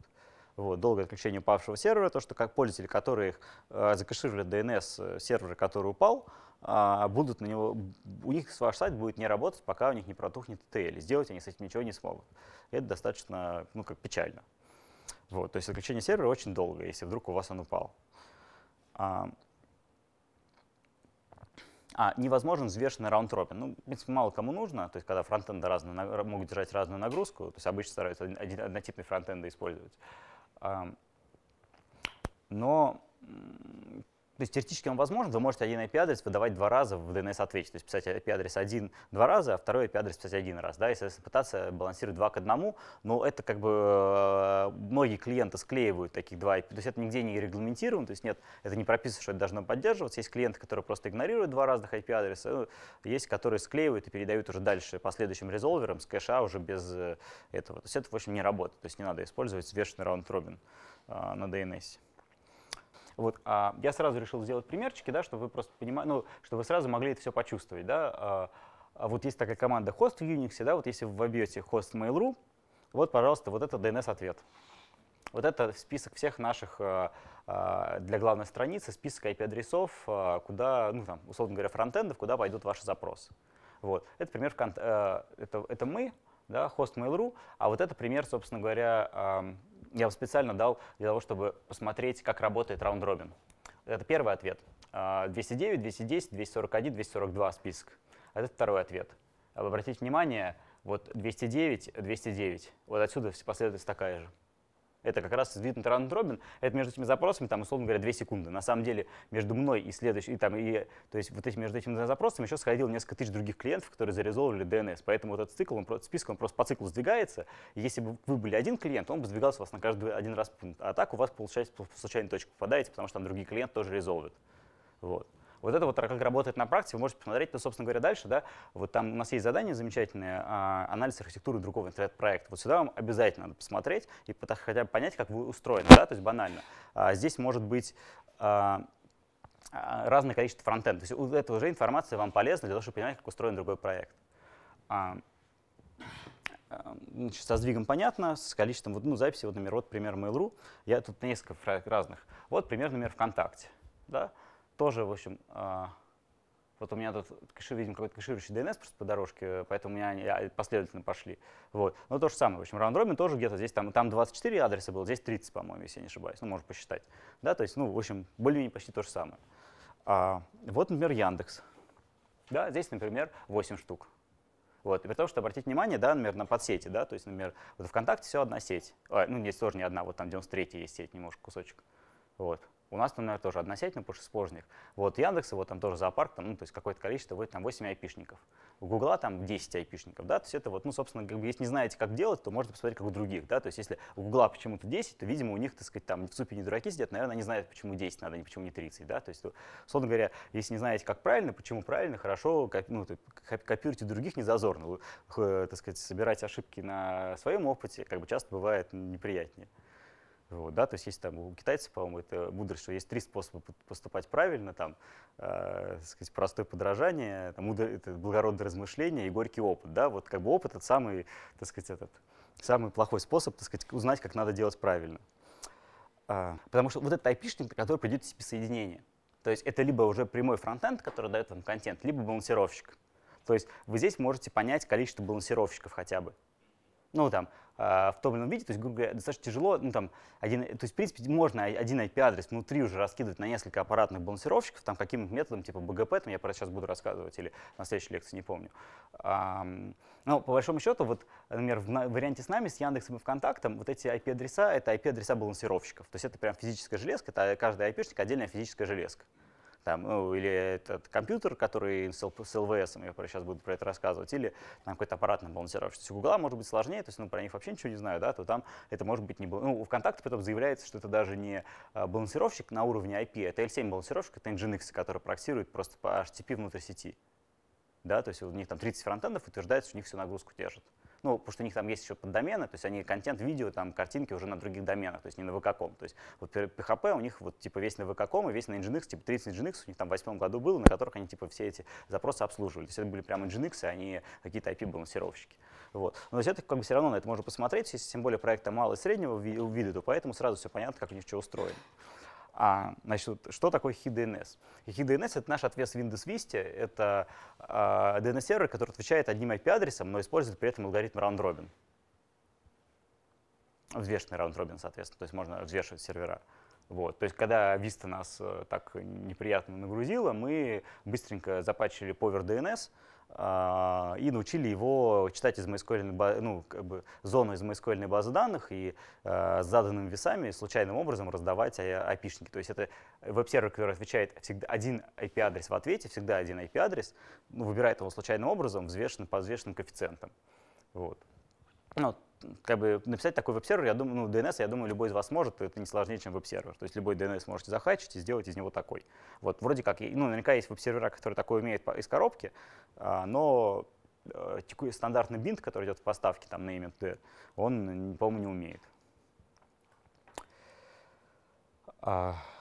А, ну, из плюсов, соответственно, HDNS в балансировке по HD, ну, в таком варианте вы можете использовать больше, чем там 30 фронтендов. Вы можете использовать там 300 тысяч фронтендов. У вас нет никаких ограничений. Вы можете, поскольку вы отвечаете одним IP-адресом, вы можете отвечать там неограниченное, ну, обслуживать неограниченное количество фронтендов, использовать такой балансировку, потому что, ну, отвечать можете два IP-адреса, если хотите, но это ничего не дает, потому что никакого между ними резервирования по факту на клиентах нет. А, для чего еще можно использовать а, DNS?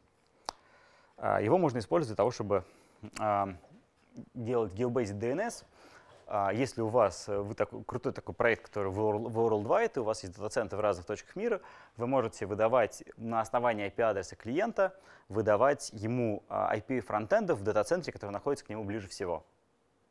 Да, то есть так, собственно, то есть совершенно точно делает Google, делает Facebook, ну, то есть все глобальные компании. То есть нам в России это не очень актуально, потому что у нас как и самолет, так и трафик весь через Москву уходит. То есть нам просто нет смысла делать там отдельный кластер в Владивостоке, потому что, в общем, туда пользователь из Новосибирска поедет через Москву, и просто смысл, ну, там, как бы, там особо не выиграешь ни на чем к сожалению. Ну, там сейчас, в принципе, уже там более-менее интернет развивается в регионах, уже, наверное, можно небольшие там фронтенды кэширующие, я про это расскажу. Про, а, вот я, собственно, рассказывал про Point of Presence, да, в прошлой лекции. Это как раз вот про это, ну, на позапрошлой.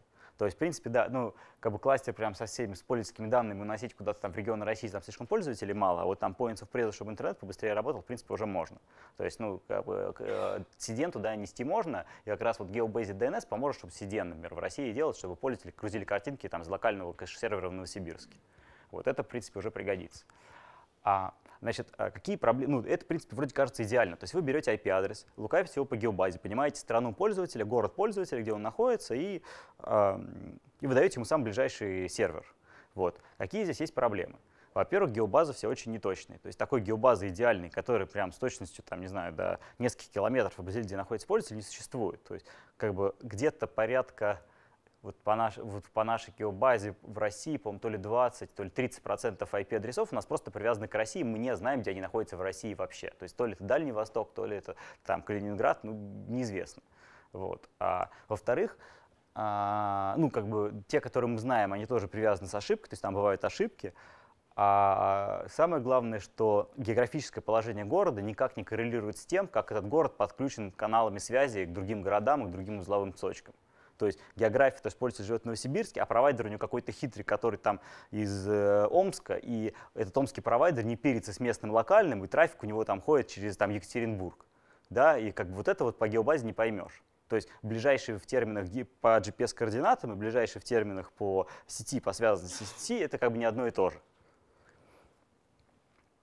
А следующая проблема. То есть, ну, как бы, грубо говоря, когда вы работаете по континентам, вы более-менее попадете, да, то есть, ну, как бы отличить Америку от Европы по IP-адресу можно практически гарантированно. Отличить Владивосток от Москвы там, с, с вероятностью там, 95% нельзя. Ну, там, с вероятностью 80 можно. Ну, в принципе, тоже, да, улучшить можно качество сервиса, если вы там, ну, с какой-то вероятностью будете правильно угадывать, но какое-то количество пользователей будет ходить не на тот. То есть они находятся в Москве, а будет на Владивосток ходить, потому что геобаза кривая. А, вторая проблема с DNS. А, DNS-сервер, который у вас э, делает такой геопривязанный ответ DNS, да, он а, видит IP-адрес резолвера, а не конечного клиента. То есть того проксирующего DNS, который стоит в цепочке резолверов. Если этот резолвер находится не там, где клиент, соответственно, вы ему выдадите вообще не то. Вот. А это очень актуальная проблема, особенно, например, для Google, который глобальная компания. Поэтому они ее решают тем, что создают, сделали отдельный DNS-сервер 8888, там 8844, DNS-сервер для конечных клиентов, чтобы вы с конечного устройства настроили себе правильный DNS-сервер, чтобы DNS-сервер сразу видел ваш IP-адрес конечного клиента и выдавал на вам правильный кластер, потому что иначе, если вы через резолвер идете, он может выдать не то. То есть вы там пойдете через резолвер, который числится с другой стороной, и у вас там все сломается. Вот. И Google предлагает в, в внести в DNS-запрос IP-адрес клиента. Ну, как бы огрубленный до последнего октета, то есть последние 8 байт занулить, 8 бит занулить, да, то есть первый октет IP-адреса, чтобы можно было понять, откуда пришел клиент, чтобы выдать ему оптимальный DNS-ответ. То есть сейчас эта проблема не решена, Google ее предлагает поправить в DNS-протоколе просто-напросто, да, но пока, по-моему, статус этой заявки, он такой, ну, не дади, не, пока не принятый, по-моему, и делать это не собираются. Вот. Но вот такая проблема есть. Если вы хотите действительно выбирать ближайший клиент в дата-центр, сейчас это сделать достаточно проблематично ну, по крайней, мере, по крайней мере, по DNS. То есть теоретически вы можете взять у него GPS-координаты, да, там, условно говоря, там, разрешить определение локации, сохранить куда-то в куку, и потом каким-то магическим образом э, заставить его клиента, он же в DNS, он же имя вбивает, да, в браузере, так сказать, ну, то есть даже если вы знаете идеально, где пользователь находится, он в браузере вбивает имя, да, и как вы, э, вот в, в DNS-запросе его логина от, от почтового ящика нету, да, то есть вы, допустим, определили, что вот этот пользователь, там, Вася, так, с таким e-mail, он находится вот точно здесь, да, GPS-координаты посмотрели в мобильном приложении, Но а, в DNS вы все равно это ответить не сможете, потому что когда Вася вам в DNS пойдет, вы не знаете, что это конкретно Вася, ему нужно IP-адрес отдать правильный, да, он же адрес вбивает топит в браузере, да, вот, только если ему в закладке положите там э, дата-центр Russia, точка там google.com, да, только если так, ну, то есть если вы в закладке куда-то, ну, то есть свое локальное приложение, вы можете ходить локальный IP-шник, когда он в браузере вбивает URL, вы уже не можете ничего с ним сделать, да, то есть такая проблема есть. Ну, только что как бы у него DNS не подмените локально на машине, поставив приложение, но это как бы уже там за пределами добра и зла, да, или браузер напишите. Ну, то есть вот а если вы там не пишете браузер, не ставите ему локальное приложение, да, какое-то, то, в общем, сделать вы с этим ничего не сможете. Ну, который патчит операционную систему, меняет там DNS резолвер тоже, да, как бы замечательное решение для одного сайта. А, ну, есть, в общем, проблемы такие есть. А, вот, по DNS, в принципе, все. Если есть вопросы, я к следующему перейду.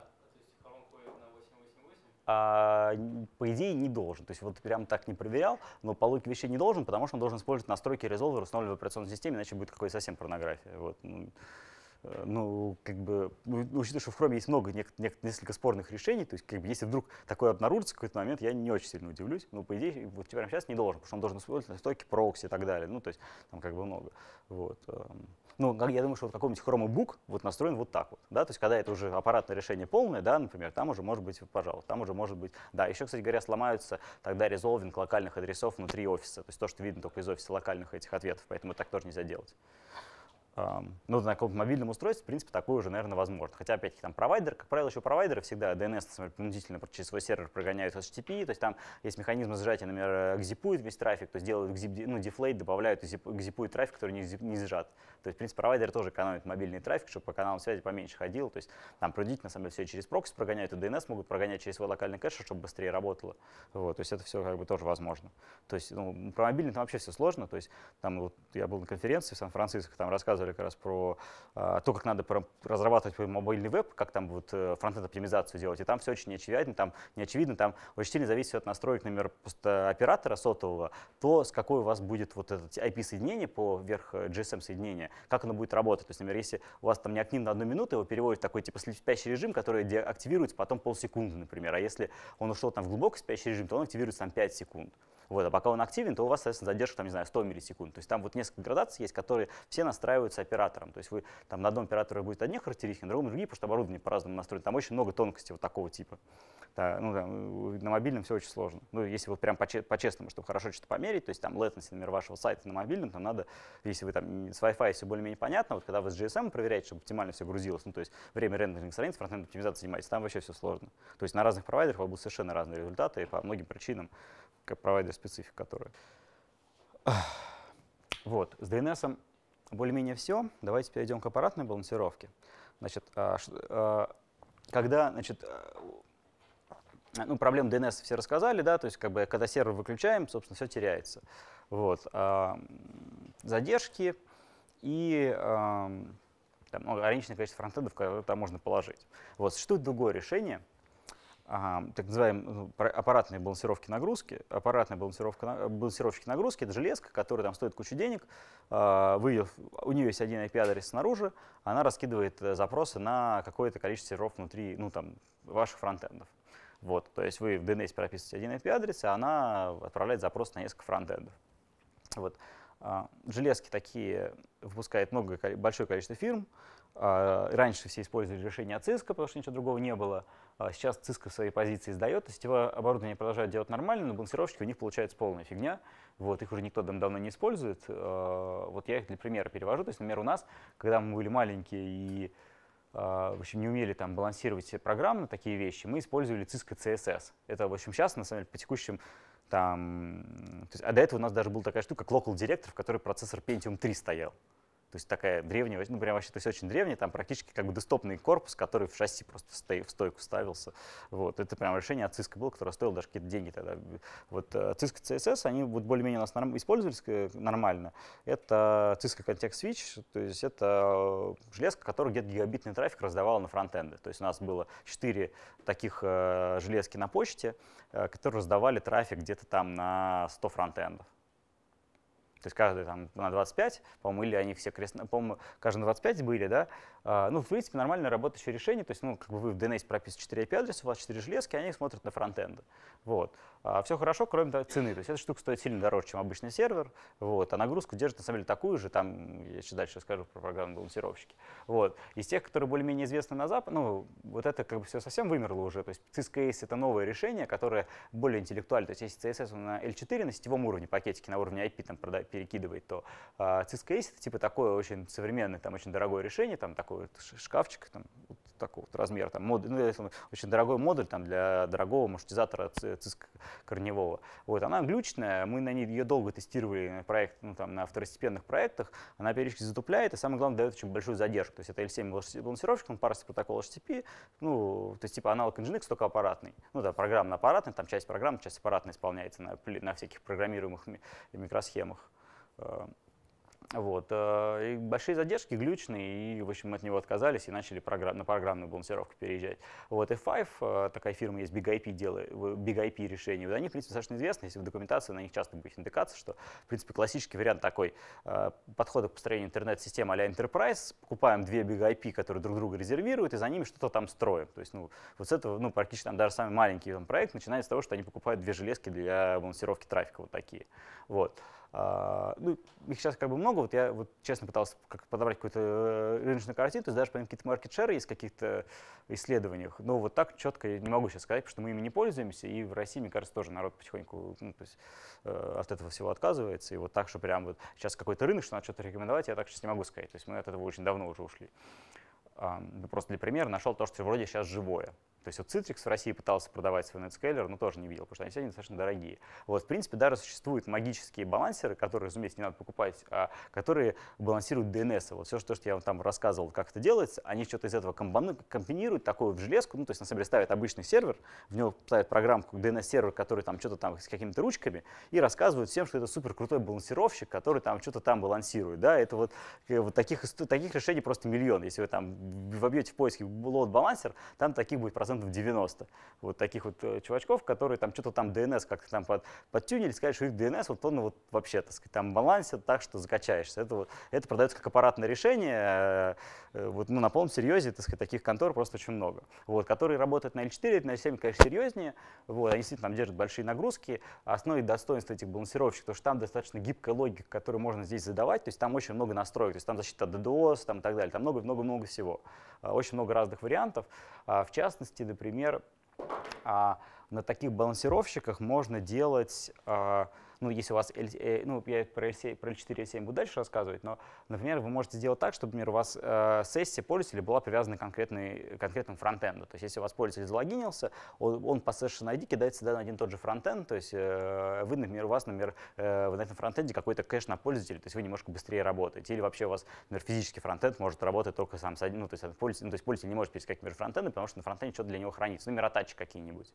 Вот. Ну, то есть, если он загрузил атач, потом этот атач надо отправить в письме, да, то вот, ну, не знаю, там, например, без этого у вас там не будет работать. Вот. А, а, ну, соответственно, есть э, программное решение, то есть э, первое основное, это проект называется Linux Virtual Server, вот, он же IPVS, IP Virtual Server. О, сайтик у него такой не обновлялся лет 5, по-моему, ну и, так кажется, проект, то есть еще я когда диплом здесь Бауманки делал вот по этому ВС, он тогда еще выглядел как такой, как поделка, которую как не доделали до конца, но на удивление он работает, то есть магически. То есть его используют практически все, но вот у нас в России, то есть на нем живет Яндекс, то я знаю, мы на нем живем, и я думаю, что еще большое количество проектов на нем живет. То есть это а, набор, ну, набор патчей, ну, набор модулей в ядре Linux, он включен в, ну, в основную ветку, он доступен, его можно включить. Опции, ну, есть некоторые утилиты управления этой штукой, вот она позволяет раскидывать пакетики как раз вот по логике на четвертом уровне, на L4, на сетевом уровне, раскидывать пакетики по, нескольким, по некоторым разным правилам. То есть Uh, ну, приходит пакетик, мы его, например, раунд-робином раскидываем на один из фронтендов, например, по НАТО. Ну, там методы, я сейчас буду рассказывать балансировки. Вот. Но это, в общем, как бы это не, не firewall, да, то есть там не маршрутизация, а это и другое. То есть помимо того, что у вас на машине на Linux сервере может быть firewall, может быть маршрутизация настроена, это вот еще одно, один способ обработки пакетов. То есть пришедший пакет, если у вас настроен LVS, он будет там куда-то там переброшен. Вот. Соответственно, Nginx про это я рассказывал, да, то есть что это программный сервер, который на L7 работает, то есть считывает HTTP-запрос, отправляет его на бэкэнд, получает результат, отправляет обратно. Да? То есть у вас может стоять один Nginx, а за ним там 100 патчей, да, то есть это как бы тоже балансер. То, то есть э, про все проекты практически средней величины сейчас используют Nginx как балансировщик, то есть он достаточно хорош. То есть пока вам не нужно балансировать нагрузку между Nginx, который, каждый из которых может 10 гигабит отдавать в интернет, да, как бы вам, в общем, Nginx хватает за глаза как балансировщик, то есть в DNS ставите Nginx, и дальше из него там раскидываете трафик на Apache, и все, в принципе, у вас там все хорошо. Вот. А если вдруг вам там, надо балансировать там, нагрузку между 100 Nginx, каждый из которых десятку может отдавать в интернет, да, тут встает вопрос, что Nginx перед ним уже ничем не поможет, потому что сам он, так сказать, такой же, столько же отдает.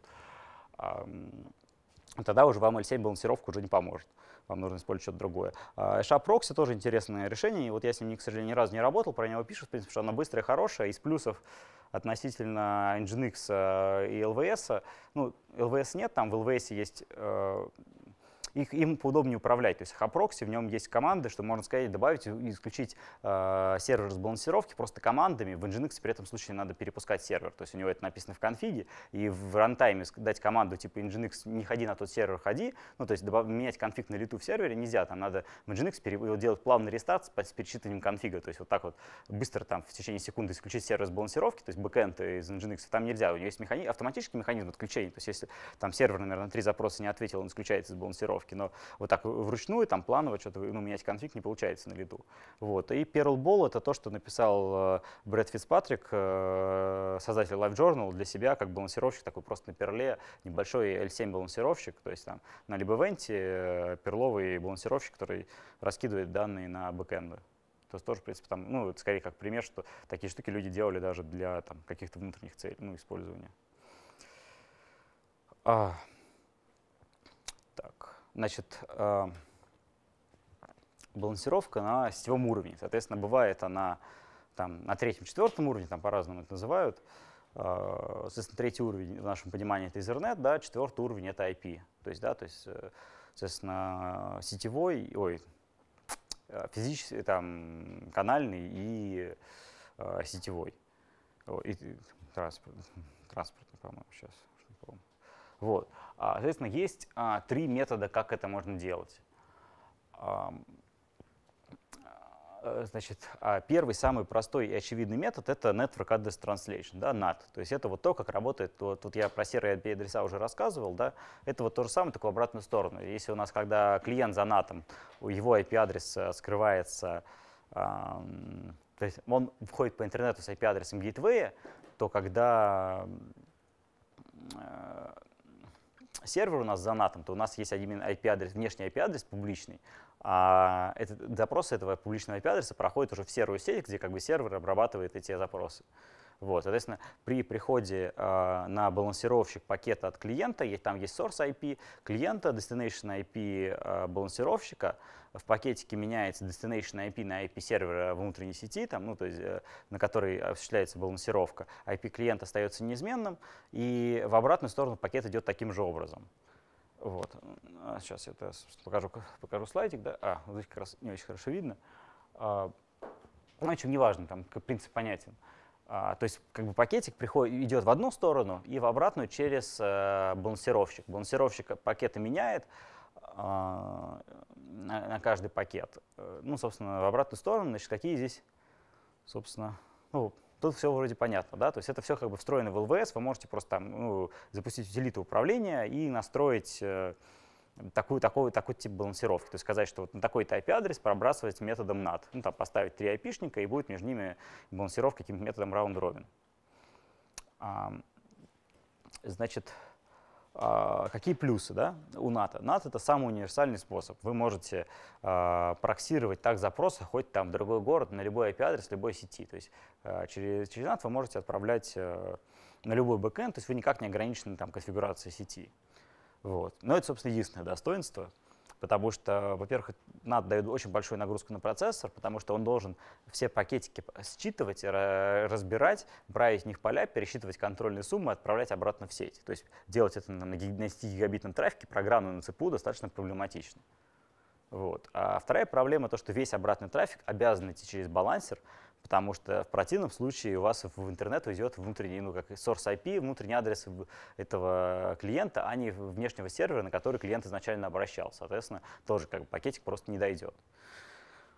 Вот. Сам, это самый простой и никогда не используемый практически метод, потому что он по нагрузке, то есть, вот, например, нагрузка на Mail.ru на NAT обрабатывать нельзя. Ну, то есть она просто не влезет, то есть надо слишком много серверов ставить. То есть надо, ну, балансировщиков надо много достаточно ставить, неэффективно. Но плюс оно будет упираться, то есть если у вас входящий запрос, они маленькие, то трафик, идущий обратно клиенту, он большой. Соответственно, вы, то есть, грубо говоря, если у вас там 10, 1 гигабитная аплинк, как еще был там год назад, еще 10 гигабитных аплинков не было в серверах, да, соответственно, вы были ограничены гигабитом, который могли отдавать обратно через такой метод балансировки. То сейчас вы можете десятку, в принципе, поставить, да, раньше, ну, как бы можно было, но очень дорого. То есть оно только сейчас стало массовым, что можно этот сервер ставить ну, за те же деньги. А, соответственно, есть фикс этой схемы, который учит, ну, там, совмещает достоинства и недостоинства, ну, там, как бы практически все один сплошные плюсы делает. А, значит, вы делаете IP-туннель, то есть на каждом из серверов, а, на каждом из бэкэндов вы поднимаете тот же самый IP-адрес, который есть на публичный, на, балансе, на балансере, поднимаете его на dummy интерфейсе, то есть на таком виртуальном интерфейсе, который ничего не делает. То есть он делает только то, что как бы если машина получит э, э, IP-пакет, э, в котором destination IP равен это, вот этому IP-шнику, машина подумает, что это ее, то есть ей пакет предназначается есть, потому что у нее есть интерфейс, дами интерфейс, на котором, который не подключен к одному физическому интерфейсу, оттуда невозможно отправить пакет и принять, но э, машина знает, что у нее этот IP-адрес есть, и когда она получает пакет, назначенный этому IP-адресу, она его считывает. Вот. Для этого нужен дами интерфейс, на нем поднимается тот же самый IP-шник, что и на балансере, а, балансер присылает пакет на эту машину неизменным, он просто меняет в Ethernet фрейме MAC-адрес получа получателя. То есть, э, а, нет, нет, нет, сейчас я даже перепутал. Не, не, здесь не так, там по MAC-адресу это другая схема, это следующая не MAC-адрес, он, а, в общем, заворачивает IP-пакет без изменений, без считывания заголовка, заворачивает его просто в инкапсуляцию. То есть в IP-туннель а, добавляет дополнительные заголовки, ну, прогоняет его просто по, по трубе э, по виртуального туннеля. Вот. То есть пакетик не надо пересчитывать, менять поля. И самое главное, в обратную сторону пакетик пойдет неизменно, потому что IP-адрес уже будет source правильный, ну, соответственно, без всех этих минусов. Значит, э, плюс это сервера могут быть по-прежнему в разных физических сетях, производительность хорошая, ну, минус небольшая дополнительная нагрузка на процессор, сложность, э, а, на сложность настройки. В принципе, не очень сложно, более-менее, ну, короче, самое простое, э, самое, ну, самое эффективное решение, которое сейчас можно использовать. Вот. Ну, основная проблема, там, туннели аккуратно настроить, эти вот JVE, чтобы трафик корректно ходил, там, считывался. Вот, э, в принципе, остальное не так страшно. Вот это, собственно, L3 балансировка, то есть балансировка уже с использованием особенностей Ethernet. А, мы э, а, получаем IP-адрес на балансер, э, пакет на балансер. А, в, на балансере мы пакет дела оставляем неизменным, меняем у него только MAC-адрес получателя, чтобы этот пакет отправился сетью Ethernet на другую машину. Ну, собственно, машину, на которую мы отправляем запросы. Вот. Эта машина, в свою очередь, э, Э, этот пакет полностью получает, но у нее IP-адрес тоже поднят на этом интерфейсе, ну там на, на даме интерфейсе, она тоже этот пакет воспринимает, что это ей, отвечает ответ, ответ идет не через балансер, тоже уходит в интернет.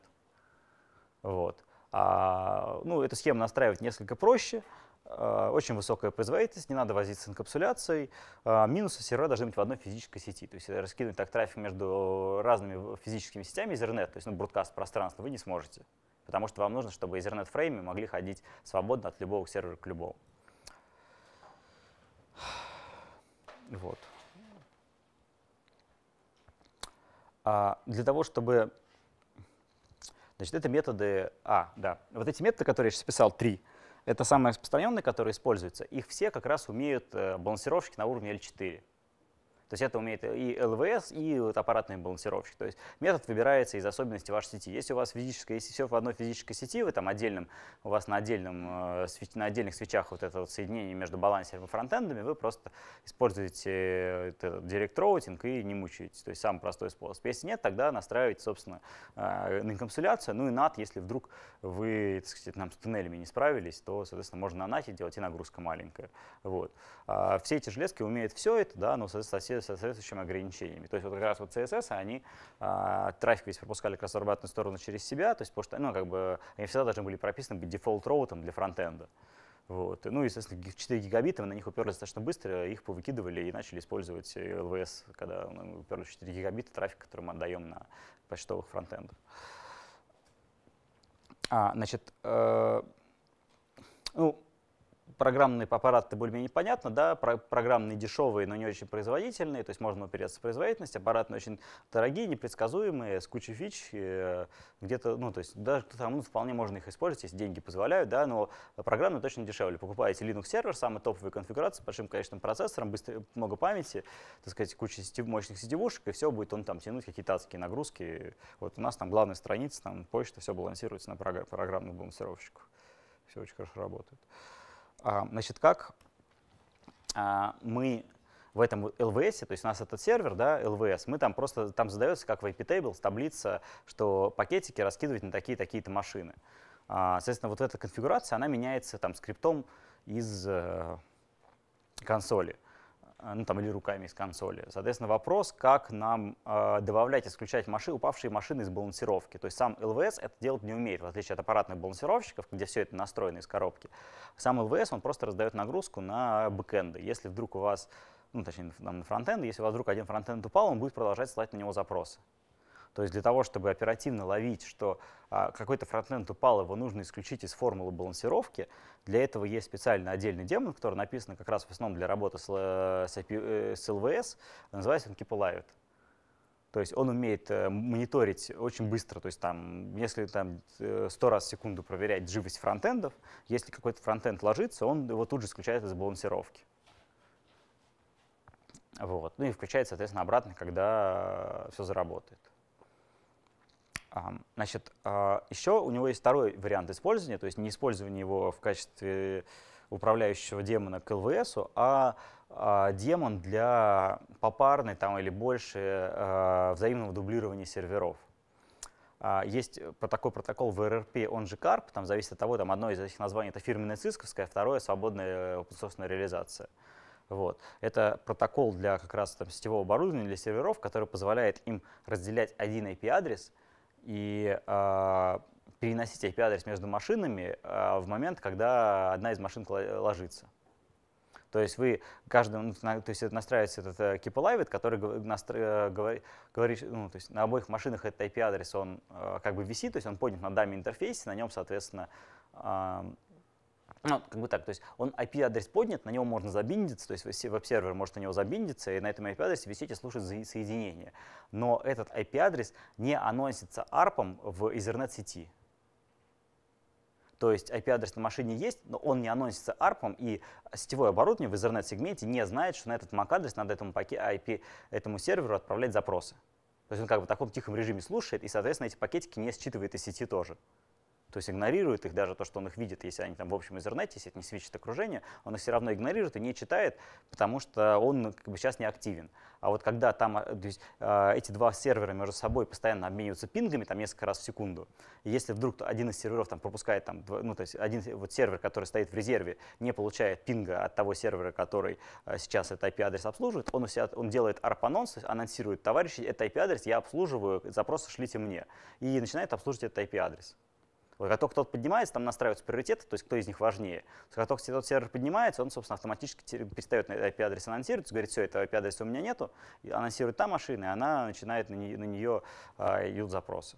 Вот. То есть, собственно, можно делать крест-накрест балансировку, вы ставите два фронтенда, э, прописываете их два в DNS, один по карпу, кросс-накрест делаете резервирование по VRRP. Если э, одна машина ложится, она принимает двойную нагрузку. Вот. А, то есть таким образом вы можете делать комбинацию, например, DNS с VRRP и а, например, делать балансировку там, на 20 фронтендов, каждый фронтенд попарно связать. Если вдруг у вас фронтенд ложится, то просто берет нагрузку второй. Вот. То есть в этом схеме, если у вас нет каких-то каскадных отключений питания там, по площадкам, то, в общем, как бы достаточно надежная схема. То есть выгорание одного отдельного сервера, она спасает. Понятно, что у вас два сервера в паре выиграет одновременно, ну, практически нулевая. Но в этом, так сказать, очень-очень редком случае вы там подождете 5 минут, пока DNS там прососется, и э, пользователи там скинут 90% нагрузки. Ну, в общем, достаточно надежная схема получается. Вот.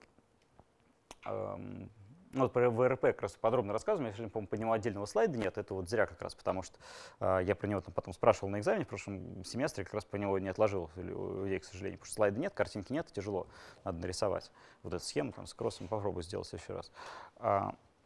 Вот, очень важная вещь, потому что вот таким способом, то есть пока у вас просто DNS на фронтенде, вы рискуете очень сильно, что просто ну, там, с классической перезагрузкой одного фронтенда вы сразу какое-то количество хитов теряете. Если вы его зарезервируете на вот, PVRP, то дальше все у вас более-менее уже нормально. То есть вот, я даже могу сказать больше, да, вот у нас, например, рекламные фронтенды, то есть у нас там стоит 60 фронтендов, и они попарно, собственно, резервированы по карпу, на них DNS-балансировка и DNS, и это самое производительное решение, которое мы сейчас знаем в текущий момент. Потому что если мы поставим балансировщики, то у нас балансировщики будут, ну сейчас у нас их 60, да, раньше было 10, просто мы там для HTTPS поставили побольше.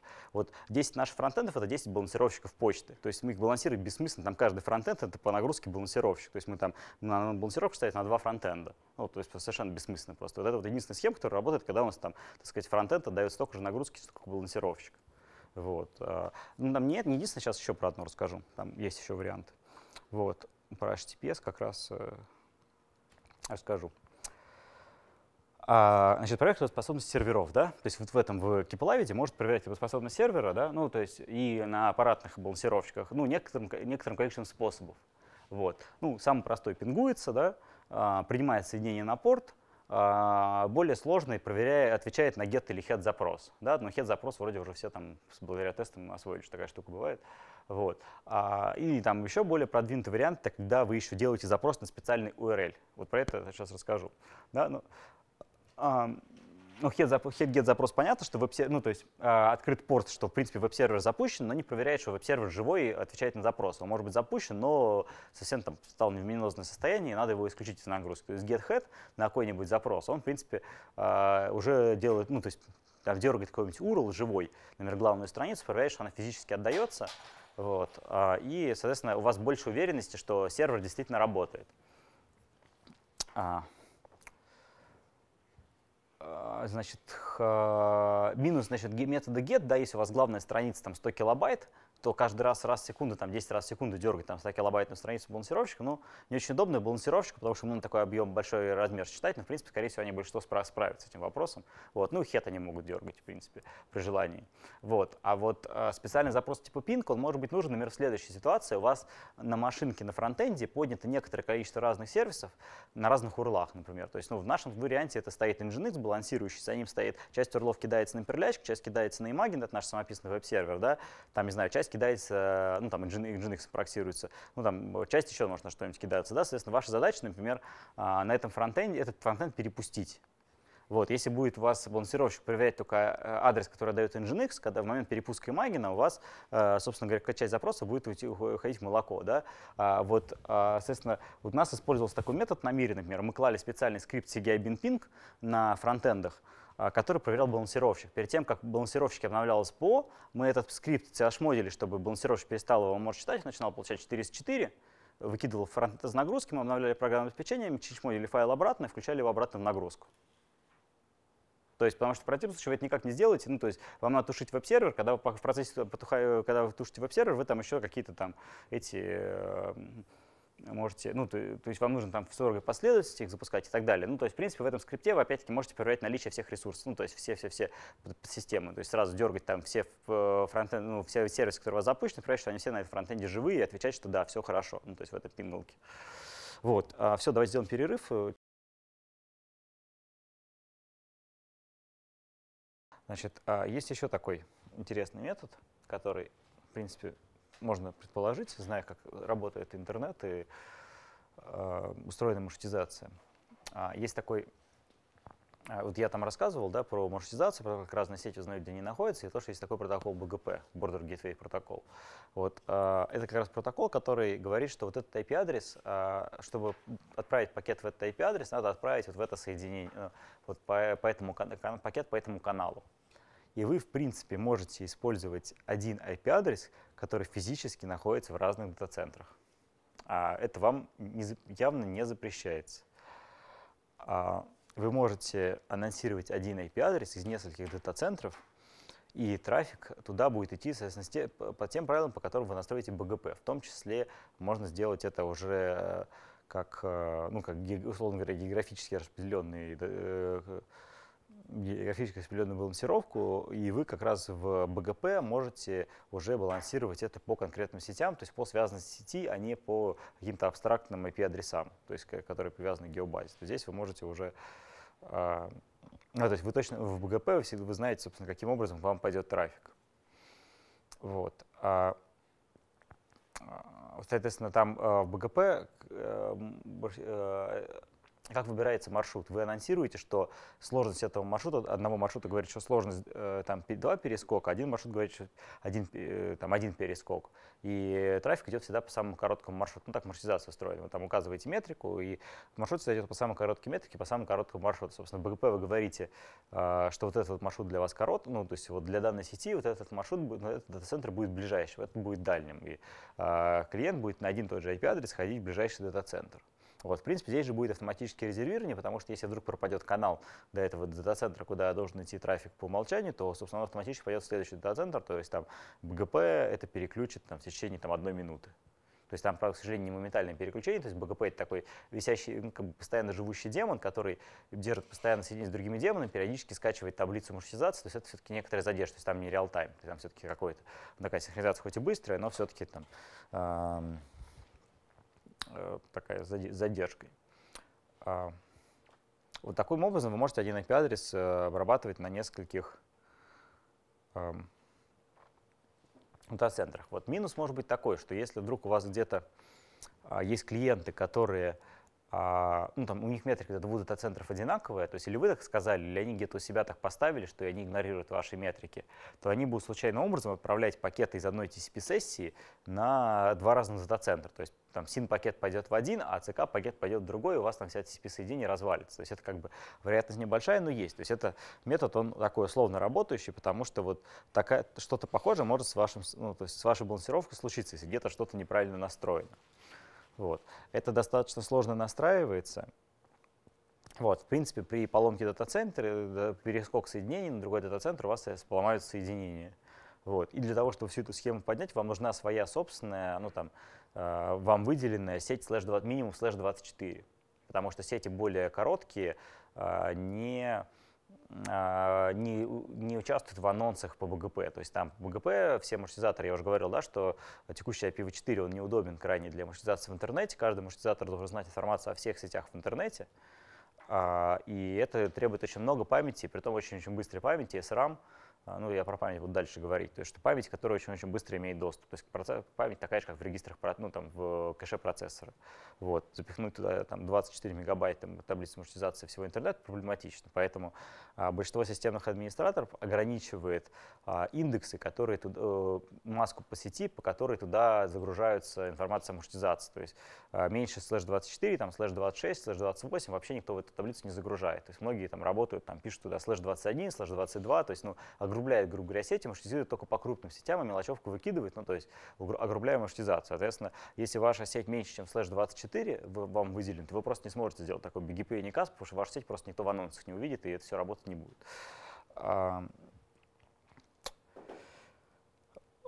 Ну, в принципе, и все, эту же штуку можно использовать для балансировки внутри дата-центра. То есть, в принципе, можно также один IP-адрес раскидывать на несколько серверов, э, и они будут, ну, то есть он будет раскидываться раунд-робином, соединения, сессии трекаться будут. То есть, собственно, в рамках дата-центра тоже можно таким образом раскидывать а, запросы на несколько фронтендов.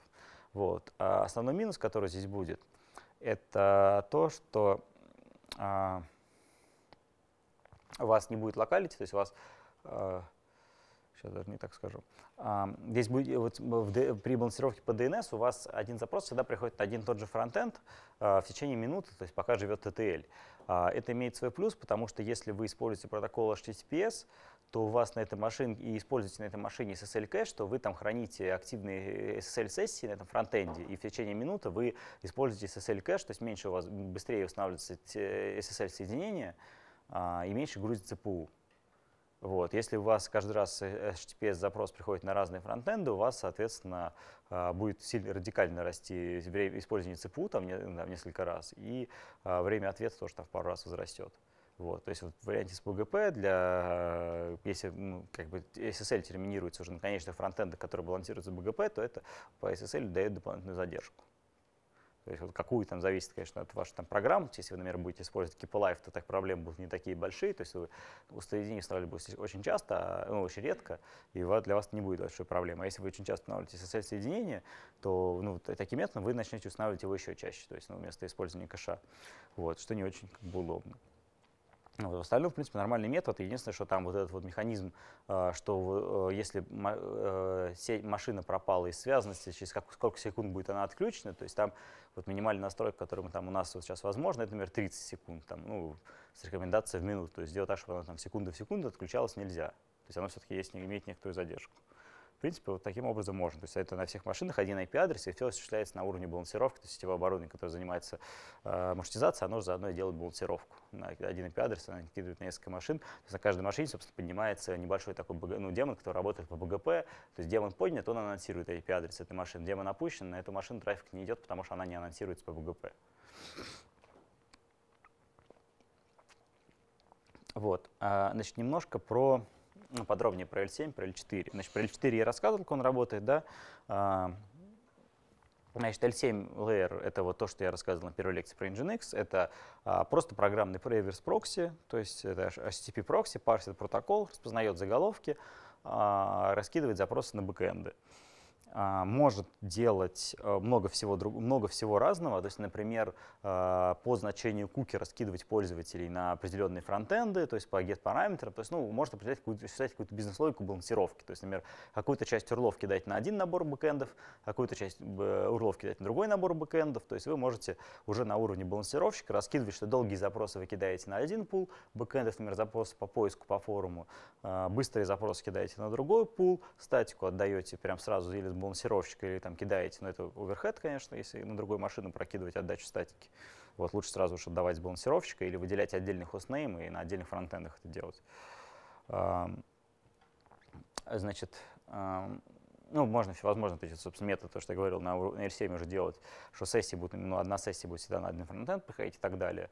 Вот. А можно там SSL терминировать на фронтенде, то есть можно прямо на фронтенде чтобы на него, вот на этом вот L7 э, балансере, можно на нем SSL обрабатывать, а уже на бэкэнд отправлять HTTP запрос, собственно говоря. Ну, то есть так э, и надо, собственно, делать, потому что в противном случае ну, там тяжело SSL проксировать, все равно там ничего нельзя э, в нем разобрать внутри.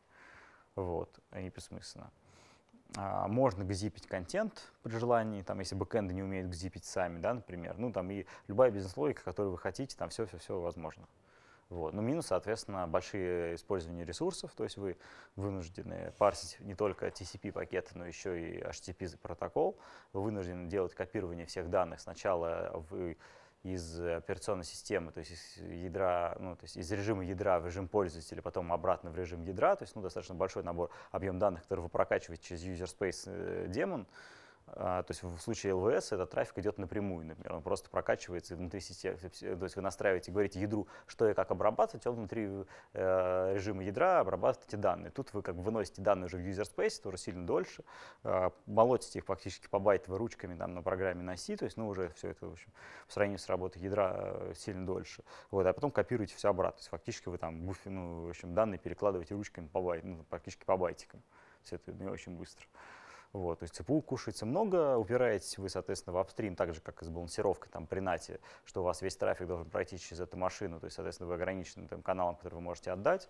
То есть ограничения, в общем, тоже есть. Эм, по сравнению там, с... То есть прокачать трафик вы можете через L7 меньше, чем вы можете прокачать через балансировку там, на уровне L4. Вот. Но зато очень-очень-очень высокая гибкость. Вот. То есть вы много решаете проблем сразу за раз. Э, у вас есть резервирование бэкэндов, то есть оно практически гарантированное, то есть если вы на одном бэкэнд запрос не отправили, вы отправляете его на другой бэкэнд, он вам отвечает, то есть вот как бы вы полностью уже здесь э, контролируете ситуацию, то есть как бы если в случае IP вы, сначала у вас фронтенд, бэкэнд падает, потом вы замечаете какую-то задержку, что он упал, и вы исключаете его с балансировки, какое-то количество запросов у вас успевает как бы испортиться, то в L7 у вас прям все rock solid. Если фронтенд, бэкенд падает в процессе обработки запроса на середине, просто-напросто балансировщик ему отправит запрос еще раз. Ну или, точнее, другому фронтенду уже еще раз. То есть вы вообще ничего не теряете, то есть там вот, хоть там можно там провод топором перерубить, так сказать, вы все равно запрос не потеряете. Nginx заново запрос перепошлет, другой бэкенд на него ответит, ответит клиенту, никто ничего не заметит, что у вас где-то что-то упало.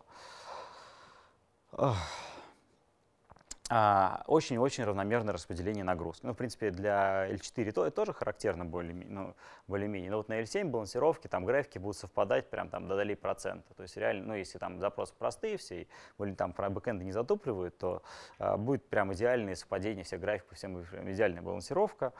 А, помимо этого, да, я уже говорил, что балансиров... ну, балансе такой вот реверс прокси на уровне L7 вам автоматически решает проблему медленных клиентов для блокирующих серверов, то есть он для вас обеспечивает асинхронную обработку медленных клиентов. А, ну и все, все, все, все, все, что вы хотите, там можно настроить в конфиге, часть бизнес-логики там написать и так далее. То есть, например, если входить сначала в, ну, при использовании там, какого-нибудь memcached, кэш, э, memcache, то вы сначала ходите в memcache, проверяете наличие кэшированной страницы, если она есть, показываете memcache, если нет, только тогда идете на бэкэнд. То есть, например, там кэшируйте главное, чтобы у вас все побыстрее, чтобы у вас она не, это, не тормозил, ну, не тормозил, не создавал нагрузку на бэкэнду. То есть очень, очень там много всяких решений, кэширования и так далее. Все как бы все есть. Единственное, ну, минусы как бы производительность. А, значит, еще есть а, какое-то количество методов, которые можно тоже назвать там методами балансировки, вот, а, которые, ну, это некоторых хаков и трюков, которые позволяют а, ну, решить нашу, собственно, задачу не там или равномерно распределить, или сэкономить там на балансировщике. То есть не ставить балансировщика как-то так без него, чтобы ничего, ну, то есть ничего не, не, не выкупать дополнительного. Вот. А есть такой метод балансировки, а, как там, редиректы. Вы можете, я вот помните, вам рассказывал про пиксели, ну, про то, что можно выдавать редирект, да, там и какой-то трафик куда-то отправлять, который там левый. А, а значит, вы также можете э, редиректор балансить пользователь набивает www mail.ru, вы его редиректите, например, куда-нибудь на MSK Mail.ru, прям вы даете ему просто location 302 редирект. Location равно, там, location двоеточие и адрес, куда перейти. Таким образом, ваш балансер ну, практически трафика не отдает, он отдает только заголовки с редиректом, ну, количество хитов он там делает какое-то определенное. Редиректы, 302 редиректы не кэшируются, то есть балансер на них на каждый хит должен отвечать. 301 кэшируются, то есть в один раз отдали редиректы. Ну, современные браузеры наконец научились тестировать, кэшировать 301 редиректы, move permanently. И э, ваш, э, тогда еще они закэшируют, и тогда вообще ваш редиректор долбить не будет. То есть вы можете прям взять и отправить пользователя просто тупо на другой сервер, на другой сайт, когда он вводит ваш URL. Вот. А, например, это если вот э, type-in, да, то есть если, ну, тут как бы есть минусы, да, если это вот точка входа, как вот имя сайта, да, то есть так, в принципе, кстати, в какие-то времена делали, то есть было такое понятие, как зеркало сайта. То есть когда интернет был медленный, между континентами трафик ходил там, со скоростями там, несколько мегабит, там, связанность между Европой и Америкой, и делали следующее, то есть создавали один и тот же сайтик, просто ночью AirSync перегоняли, ну, AirSync, наверное, знаю, да, все как утилита работает, то есть она просто копирует весь контент один в один, все, все дельты, все изменения доносят, делают так, чтобы две папки были синхронизированы одинаково между двумя серверами. Вот, вы просто берете, ночью запускаете скрипт, который доносит все изменившиеся файлы, все изменения, э, дельты доносит э, до вашего сервера. И у вас два зеркала, одно в Европе, одно в США. Вы вводите адрес сервера, вас тут же редиректит на это зеркало, все ссылки относительные на сайте, неважно от домена, у вас все ссылки продолжают работать, на каком бы домене сайт ни находился. Вот, и вы по этому зеркалу дальше ходите, там скачиваете какой-нибудь пакетики Linux свои, которые там кучу мегабайт занимают, и качаете их через э, океан совершенно, так сказать, ужасно. Вот. И вот так все как-то интернет так дальше раньше и работал. То есть были зеркала, то есть вы там попав на правильное зеркало свое рядом родное, оно быстро работало, с него быстро все скачивалось. Ну вот прям вот это реально использовалось когда-то давно. То есть вы вбивали основной URL, вас редиректило на локальную копию, то есть с другим доменом, и вы дальше внутри этого сайта ходили. И могли, соответственно, закладочки тоже себе положить. Вот. Сейчас так никто не делает, сейчас считается, что вот вы вбиваете facebook.com, да, и у вас вот facebook.com должен быть всегда, то есть никакой там фигни не должно быть в доменах. Вот, да, но просто так красиво, то есть иначе вы там в закладке что-то не то добавляете, ссылки неудобно давать и прочее. Да, то есть зеркал, от зеркал уже отказались, зеркал больше нет. Но как бы идея такая была когда давно. Вот. Но Redirect Based Balancing как бы жив. Его можно использовать в каких-нибудь хитрых местах. Например, а, у вас есть а, видео, у вас есть видеоплеер, вы дергаете какой-то URL, который у вас, по которому у вас лежит видео, то есть на какой-то бэкэнд, где у вас видеоролики лежат. А тут, а там вы пишете логику, которая смотрит, откуда пользователь, есть ли у меня этот ролик или нет, и где этот ролик есть, и вы даете редирект уже на конкретную физическую машину, вплоть до IP-адреса, то есть или доменный, или IP-адрес, что вот, слушай, у меня этот ролик нету, и ты вообще, слушай, не из Казахстана, а я в казахский проси, а сходи-ка ты вот ты из России, сходи-ка на российский прокси, вот тебе редирект. То есть поскольку мы это делаем запрос только в момент начала проигрывания видео, а потом его по этому соединению скачивают, на самом деле будет там редирект или не будет, потратили мы лишние там 100 миллисекунд задержки на этот редирект, вообще никого не волнует. А зато мы можем как как бы э, упростить сильно себе логику. То есть мы можем не мучиться там в момент отрисовки плеера решать, с какого сервера нам его качать, а мы просто выдаем какую-то ссылку, которая говорит, слушай, вот которая диспетчер, который говорит, что я знаю, где ролики лежат. Вы даете ссылочку на э, такой URL, он говорит, что ходи туда, выдает редирект, вы идете по редиректу, ну, заодно считаете какую-нибудь статистику, например, да, и оттуда уже качается ролик.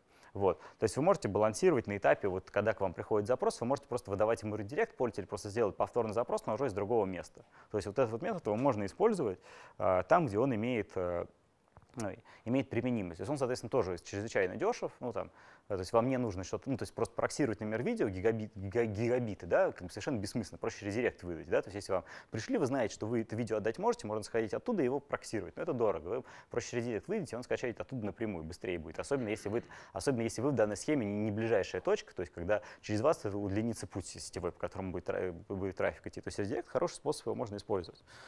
Вот. Ну, как бы не для всех мест его, к сожалению, можно использовать, да. А, а, ну, как бы его основной минус, да, ну, как бы он дешевый достаточно, ну, там DNS, конечно, дешевле, вот, а, имеет единую точку отказа. Если ваш этот редиректор умирает, да, соответственно, как бы, ну, ничего не работает. Ну, то есть только если вы не поставите несколько редиректоров и между собой их не забалансируете. То есть сам по себе редиректор, он как бы, ну, а, одна точка входа. То есть, ну, в сравнении там с DNS, который сразу раскидывает на несколько, да, то тут, или там каким-нибудь балансировкой. Ну, в принципе, с балансировкой, кстати, та же самая проблема, да, то есть любой аппаратный балансировщик — это одна точка входа, да, то есть если он у вас один, сгорел, как бы все, больше ничего не будет, а поскольку балансировщики вот эти, ну, вообще, как бы поставка железа в Россию такой процесс очень специфичный. То есть если, например, у ЦИСКа вы платите на 30% дороже за железку, и она за счет этого вам дается такая гарантия, когда вам эту железку меняют в течение часа, если она сгорает. В России это как бы работает только формально. Вы как бы звоните в ЦИСК, говорите, железка сгорела. Он говорит, окей, а на складе нету. Вот, то есть денег вы заплатили, как бы железки нету, поменять ее никто не будет, вот, и все, и как бы вы там нафиг никому не нужны со своими проблемами. Поэтому как бы, если у вас один балансер, то он не балансер, как с «Жигулями», так сказать. Как бы, вот если один автомобиль «Жигули», он не, как бы, ничего не стоит, пока нет второго, с которого можно запчасть снять. Ну, как бы вот с балансером можно считать, что то, то же самое. То есть он как бы один по себе ценности не имеет никакой, потому что как бы, если он у вас, он у вас один и сгорел, то, собственно, дальше как бы, вы можете сворачивать лавочку, как бы вешать табличку, так сказать, и уходить. Вот, поэтому надо их как минимум два, то есть хотя бы ну, которые находятся в резерве, ну, то есть как бы способны держать нагрузку, ну, то есть когда вы один выключаете, например, или на плановое обслуживание, или еще и вас на одном живете, да, то есть в любом случае должно быть у вас резервирование, там, балансировки, то есть они опять-таки могут по ВРП резервироваться между собой, пожалуйста, вот. Ну, или IP-адрес можно перенести. В принципе, да, есть метод такой быстрый, как бы там, который требует просто человеческого вмешательства, это IP-адрес можно перенести вручную. То есть вы просто берете тем же самым IP-адресом, поднимаете другой сервер, да, ну, то есть там с балансером, да, то есть в РП это делает автоматом, вы там с задержкой, например, там несколько минут можете вбежать на сервер, так сказать, быстренько поставить там IP-шничек, он в этой же интернет-сети тут же начнет получать трафик на этот IP-адрес, да, но это такое ручное вмешательство, то есть ну, для тех же там DNS это как бы делается. Вот.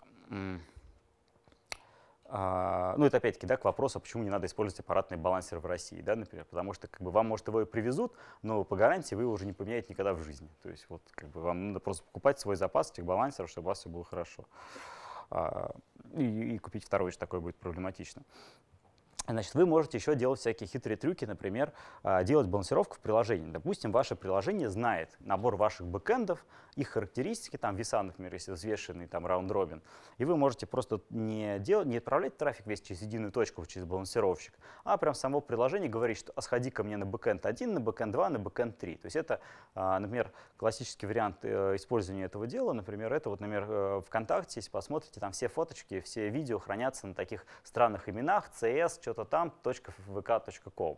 То есть у них а, есть отдельные как бы, сервера, э, которые вот э, с контентом, и когда приложение генерит страницу, оно знает, какой контент на каком сервере лежит, и выдает просто URL, э, ссылку на конкретный сервер сразу.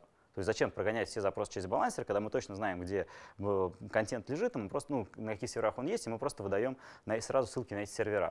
То есть тут даже, даже, и, ну, даже если мы сейчас не, не делаем балансировку, все равно мы можем не прогонять трафик через балансер, а просто идти напрямую. Да? Вот, если мы трафик делаем балансировку, например, у нас есть 10 серверов, которые делают одно и то же, мы можем тоже не прогонять весь трафик через бутылочный горлышко, через балансер, а в самом приложении выдавать ссылки случайным образом на один из 10 источников.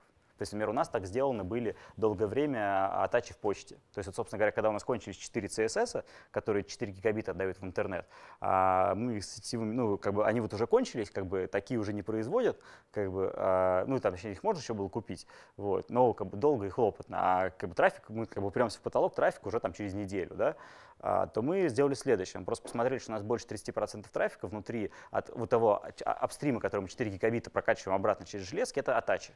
Мы просто их унесли из э, прилог фронтендов, э, унесли на отдельные, ну, на отдельные фронтенды унесли, на отдельный набор фронтендов, переписали там на C заодно, чтобы побыстрее работало, то есть чтобы не перелячик отдавала, а имагин.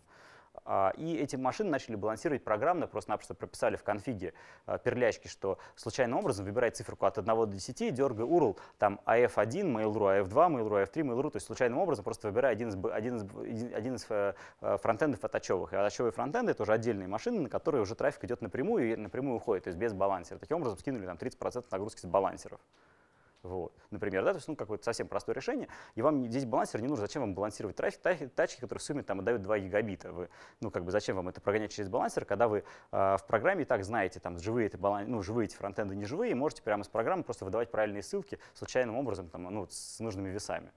То есть вам никто не мешает балансировать. То есть когда, вы, то есть когда это не точка входа, куда пользователь вводит, когда он не URL вбивает в браузер, а когда вы сами эту ссылку генерируете, вы можете сразу делать, ну, то есть выдавать балансировку, то же самое видео. Да? Вы можете как бы с, э, в программке считать быстренько характеристики, то есть загруженности бэкэндов, которые стримят видео, и выдавать там наименее загруз, ссылку на наименее загруженный бэкэнд, там, ну или как-то веса. Там, ну, то есть можете сразу выдавать ссылку на конкретный сервер, который дает видео. Если сервер недоступен, вы из программы на него перестаете выдавать ссылки. То есть, ну, поскольку как бы, ссылку вы даете в момент нажатия на кнопку «Посмотреть видео», то, в общем, какая разница. То есть, как, и, даже если у вас упадет в момент сервера, вы скажете пользователю, ой, опс, произошла ошибка, нажмите на кнопочку еще раз. Он нажмет еще раз, так сказать, и все заиграет. Ну или сами там Аяксом поймете, что запрос не прошел, так сказать, дерните еще раз, тот же самый запрос, э, там, ну или, не знаю, перевыберите сервер, то есть сделаете какое-нибудь там действие. Ну то есть как бы тоже программная балансировка, ну это даже вот уже это, и, это, в принципе, и про клиент-бейзе тоже балансировка, да, то есть вы можете прям, ну это вот было, когда вы из перлячки это выбираете, да, клиент-бейзе балансировка, вы можете а, в JavaScript выгрузить, в JavaScript выгрузить список бэкэндов, которые можно дергать, и уже, так сказать, из JavaScript просто, ну, функции внутри JavaScript, то есть в AX-приложении, которое не перегружает страницу, просто дергать разные бэкэнды. Ну, то есть тоже раунд-робином, раскидывая нагрузку на разные машины, то есть тоже возможно. Единственный минус, да, соответственно, если вы э, исключаете машинку из, э, ну, какая-то машинка у вас умирает, да, то JavaScript об этом не узнает, ну, пока вы страницу не перезагрузите, да, то есть, ну, здесь трейдов, он везде есть, да, то есть идеального решения никогда не бывает нигде, то есть, тем более там в таких сложных системах, да, там, масштабируемых, да, то есть всегда как бы у нас есть методы, которые работают хуже, которые лучше, и у нас всегда выбирать метод под конкретную задачу, то есть вот, вот для вашей конкретной задачи нужно выбирать метод, который кажется вам оптимальным, то есть они все разные, как бы со всеми своими плюсами и минусами. Вот. А, ну вот еще у меня тут ну, обеспечить, отказоустойчивость, соответственно, можно обеспечить, да, там, передергивая, ну, если в один сервер сходили, он лежит, то можно сходить в другой сервер, тоже ничто не мешает. Ну, то есть делаем повторный запрос, другой сервер, просто какая-то задержка добавляется. Вот. А минус, да, я говорил уже, наверное, про cost domain policy на фронтенд оптимизации, да, а по умолчанию AJAX запросы можно делать только на тот же домен, с который загружен контент. Да. Соответственно, если вы хотите сделать именно AJAX запрос на, не, на N серверов, то это не работает, поскольку вы можете, можете отправить только на тот же самый домен. То есть да, здесь вы вынуждены использовать метод JSONP, когда вы дергаете скрипт SRC, вот, а он уже, ну, как вам приезжает скрипт, который вызывает callback. Ну, то есть вы фактически вставляете страницу скрипт вместо того, чтобы сделать красивый Ajax, который вот по всем правилам. Вот, поэтому, как бы, когда у вас, собственно, функциональность сайта размазан на несколько разных поддоменов, ну, если вы разные функции разносите по поддоменам, у вас Ajax уже перестает работать, потому что там с проектом News.mail.ru вы не можете сходить в почту а вам нужно там веб-агент показать, и все. Вы как бы вынуждены использовать не красивый Ajax, а JSONP и всякие там сотоварищи, там типа через флешку сокет открывать. Был такой метод когда-то. Так. А. Значит, дальше, да, что, собственно говоря, ну, там, следующий логичный шаг, то, про что я, собственно, а, хотел рассказать, то, как делают, собственно, большие проекты. Ну, просто вот я рекомендую походить вам, да, посмотреть, а, как по доменам распределены разные ресурсы на проект. Вы обнаружите, что у всех там немножко по-разному, но в целом прослеживается общая идея, что у нас вот есть а, страничка, которая дает динамический контент, вот основную страницу HTML. Да, это вот там страничка динамики, там условно говоря, все она там как-то там может быть где-то кэшируется, это одни машины. Картинки лежат на другой машине, да. То есть если вы, например, начинаете какое-нибудь видео смотреть, оно лежит на третьей машине. То есть все как бы все-все-все разбивается по функциям. А, вы разные функционал раскидываете по разным-разным э, подсистемам. То есть вы не пытаетесь все сделать через одну точку входа и видео раздавать, и страничку, и статику, и картинки, да, а все раскидываете по разным подсистемам, у вас каждая подсистема контролируемая, то есть вы понимаете, что с ней происходит, потому что она, ну, то есть у нее отдельные метрики, у нее отдельные типы запросов, вы там смотрите общие метрики, там, ну, то есть, не знаю, там для, например, просто там кардинальная будет разница, отдача малень, э, маленькой статики, всяких там статических картинок там по 20 килобайт, по 10 килобайт для верстки, и отдача видео там в 2 гигабайтных стримов, да, то есть это совершенно разный паттерн, нужны разные тюнинг операционной системы, то есть на разные вещи надо смотреть, э, что у вас все хорошо, ну, то есть, потому что там картинки, например, все лазят, влазят в кэш, я про это буду говорить, да, фактически сервер отдается из оперативной памяти, а с видео там наоборот история в том, что он в кэш как раз не влазит, и если вы, у вас там слишком много конкурирующих э, видео параллельно играющих с диск, то вы начинаете не успевать, потому что у вас ну, диск случайным образом начинает ходить между этим видео, производительность падает, так сказать, и там все становится плохо. Вот. Совершенно разные вещи, и поэтому а вот э, все стараются балансировать нагрузку по разным типам серверов. И дальше уже в каждой, в, в каждой отдельной группе следят за производителем, добавляют сервера такого типа. Потому что там разные настройки у них нужны, и аппаратная конфигурация часто отличается. Вот.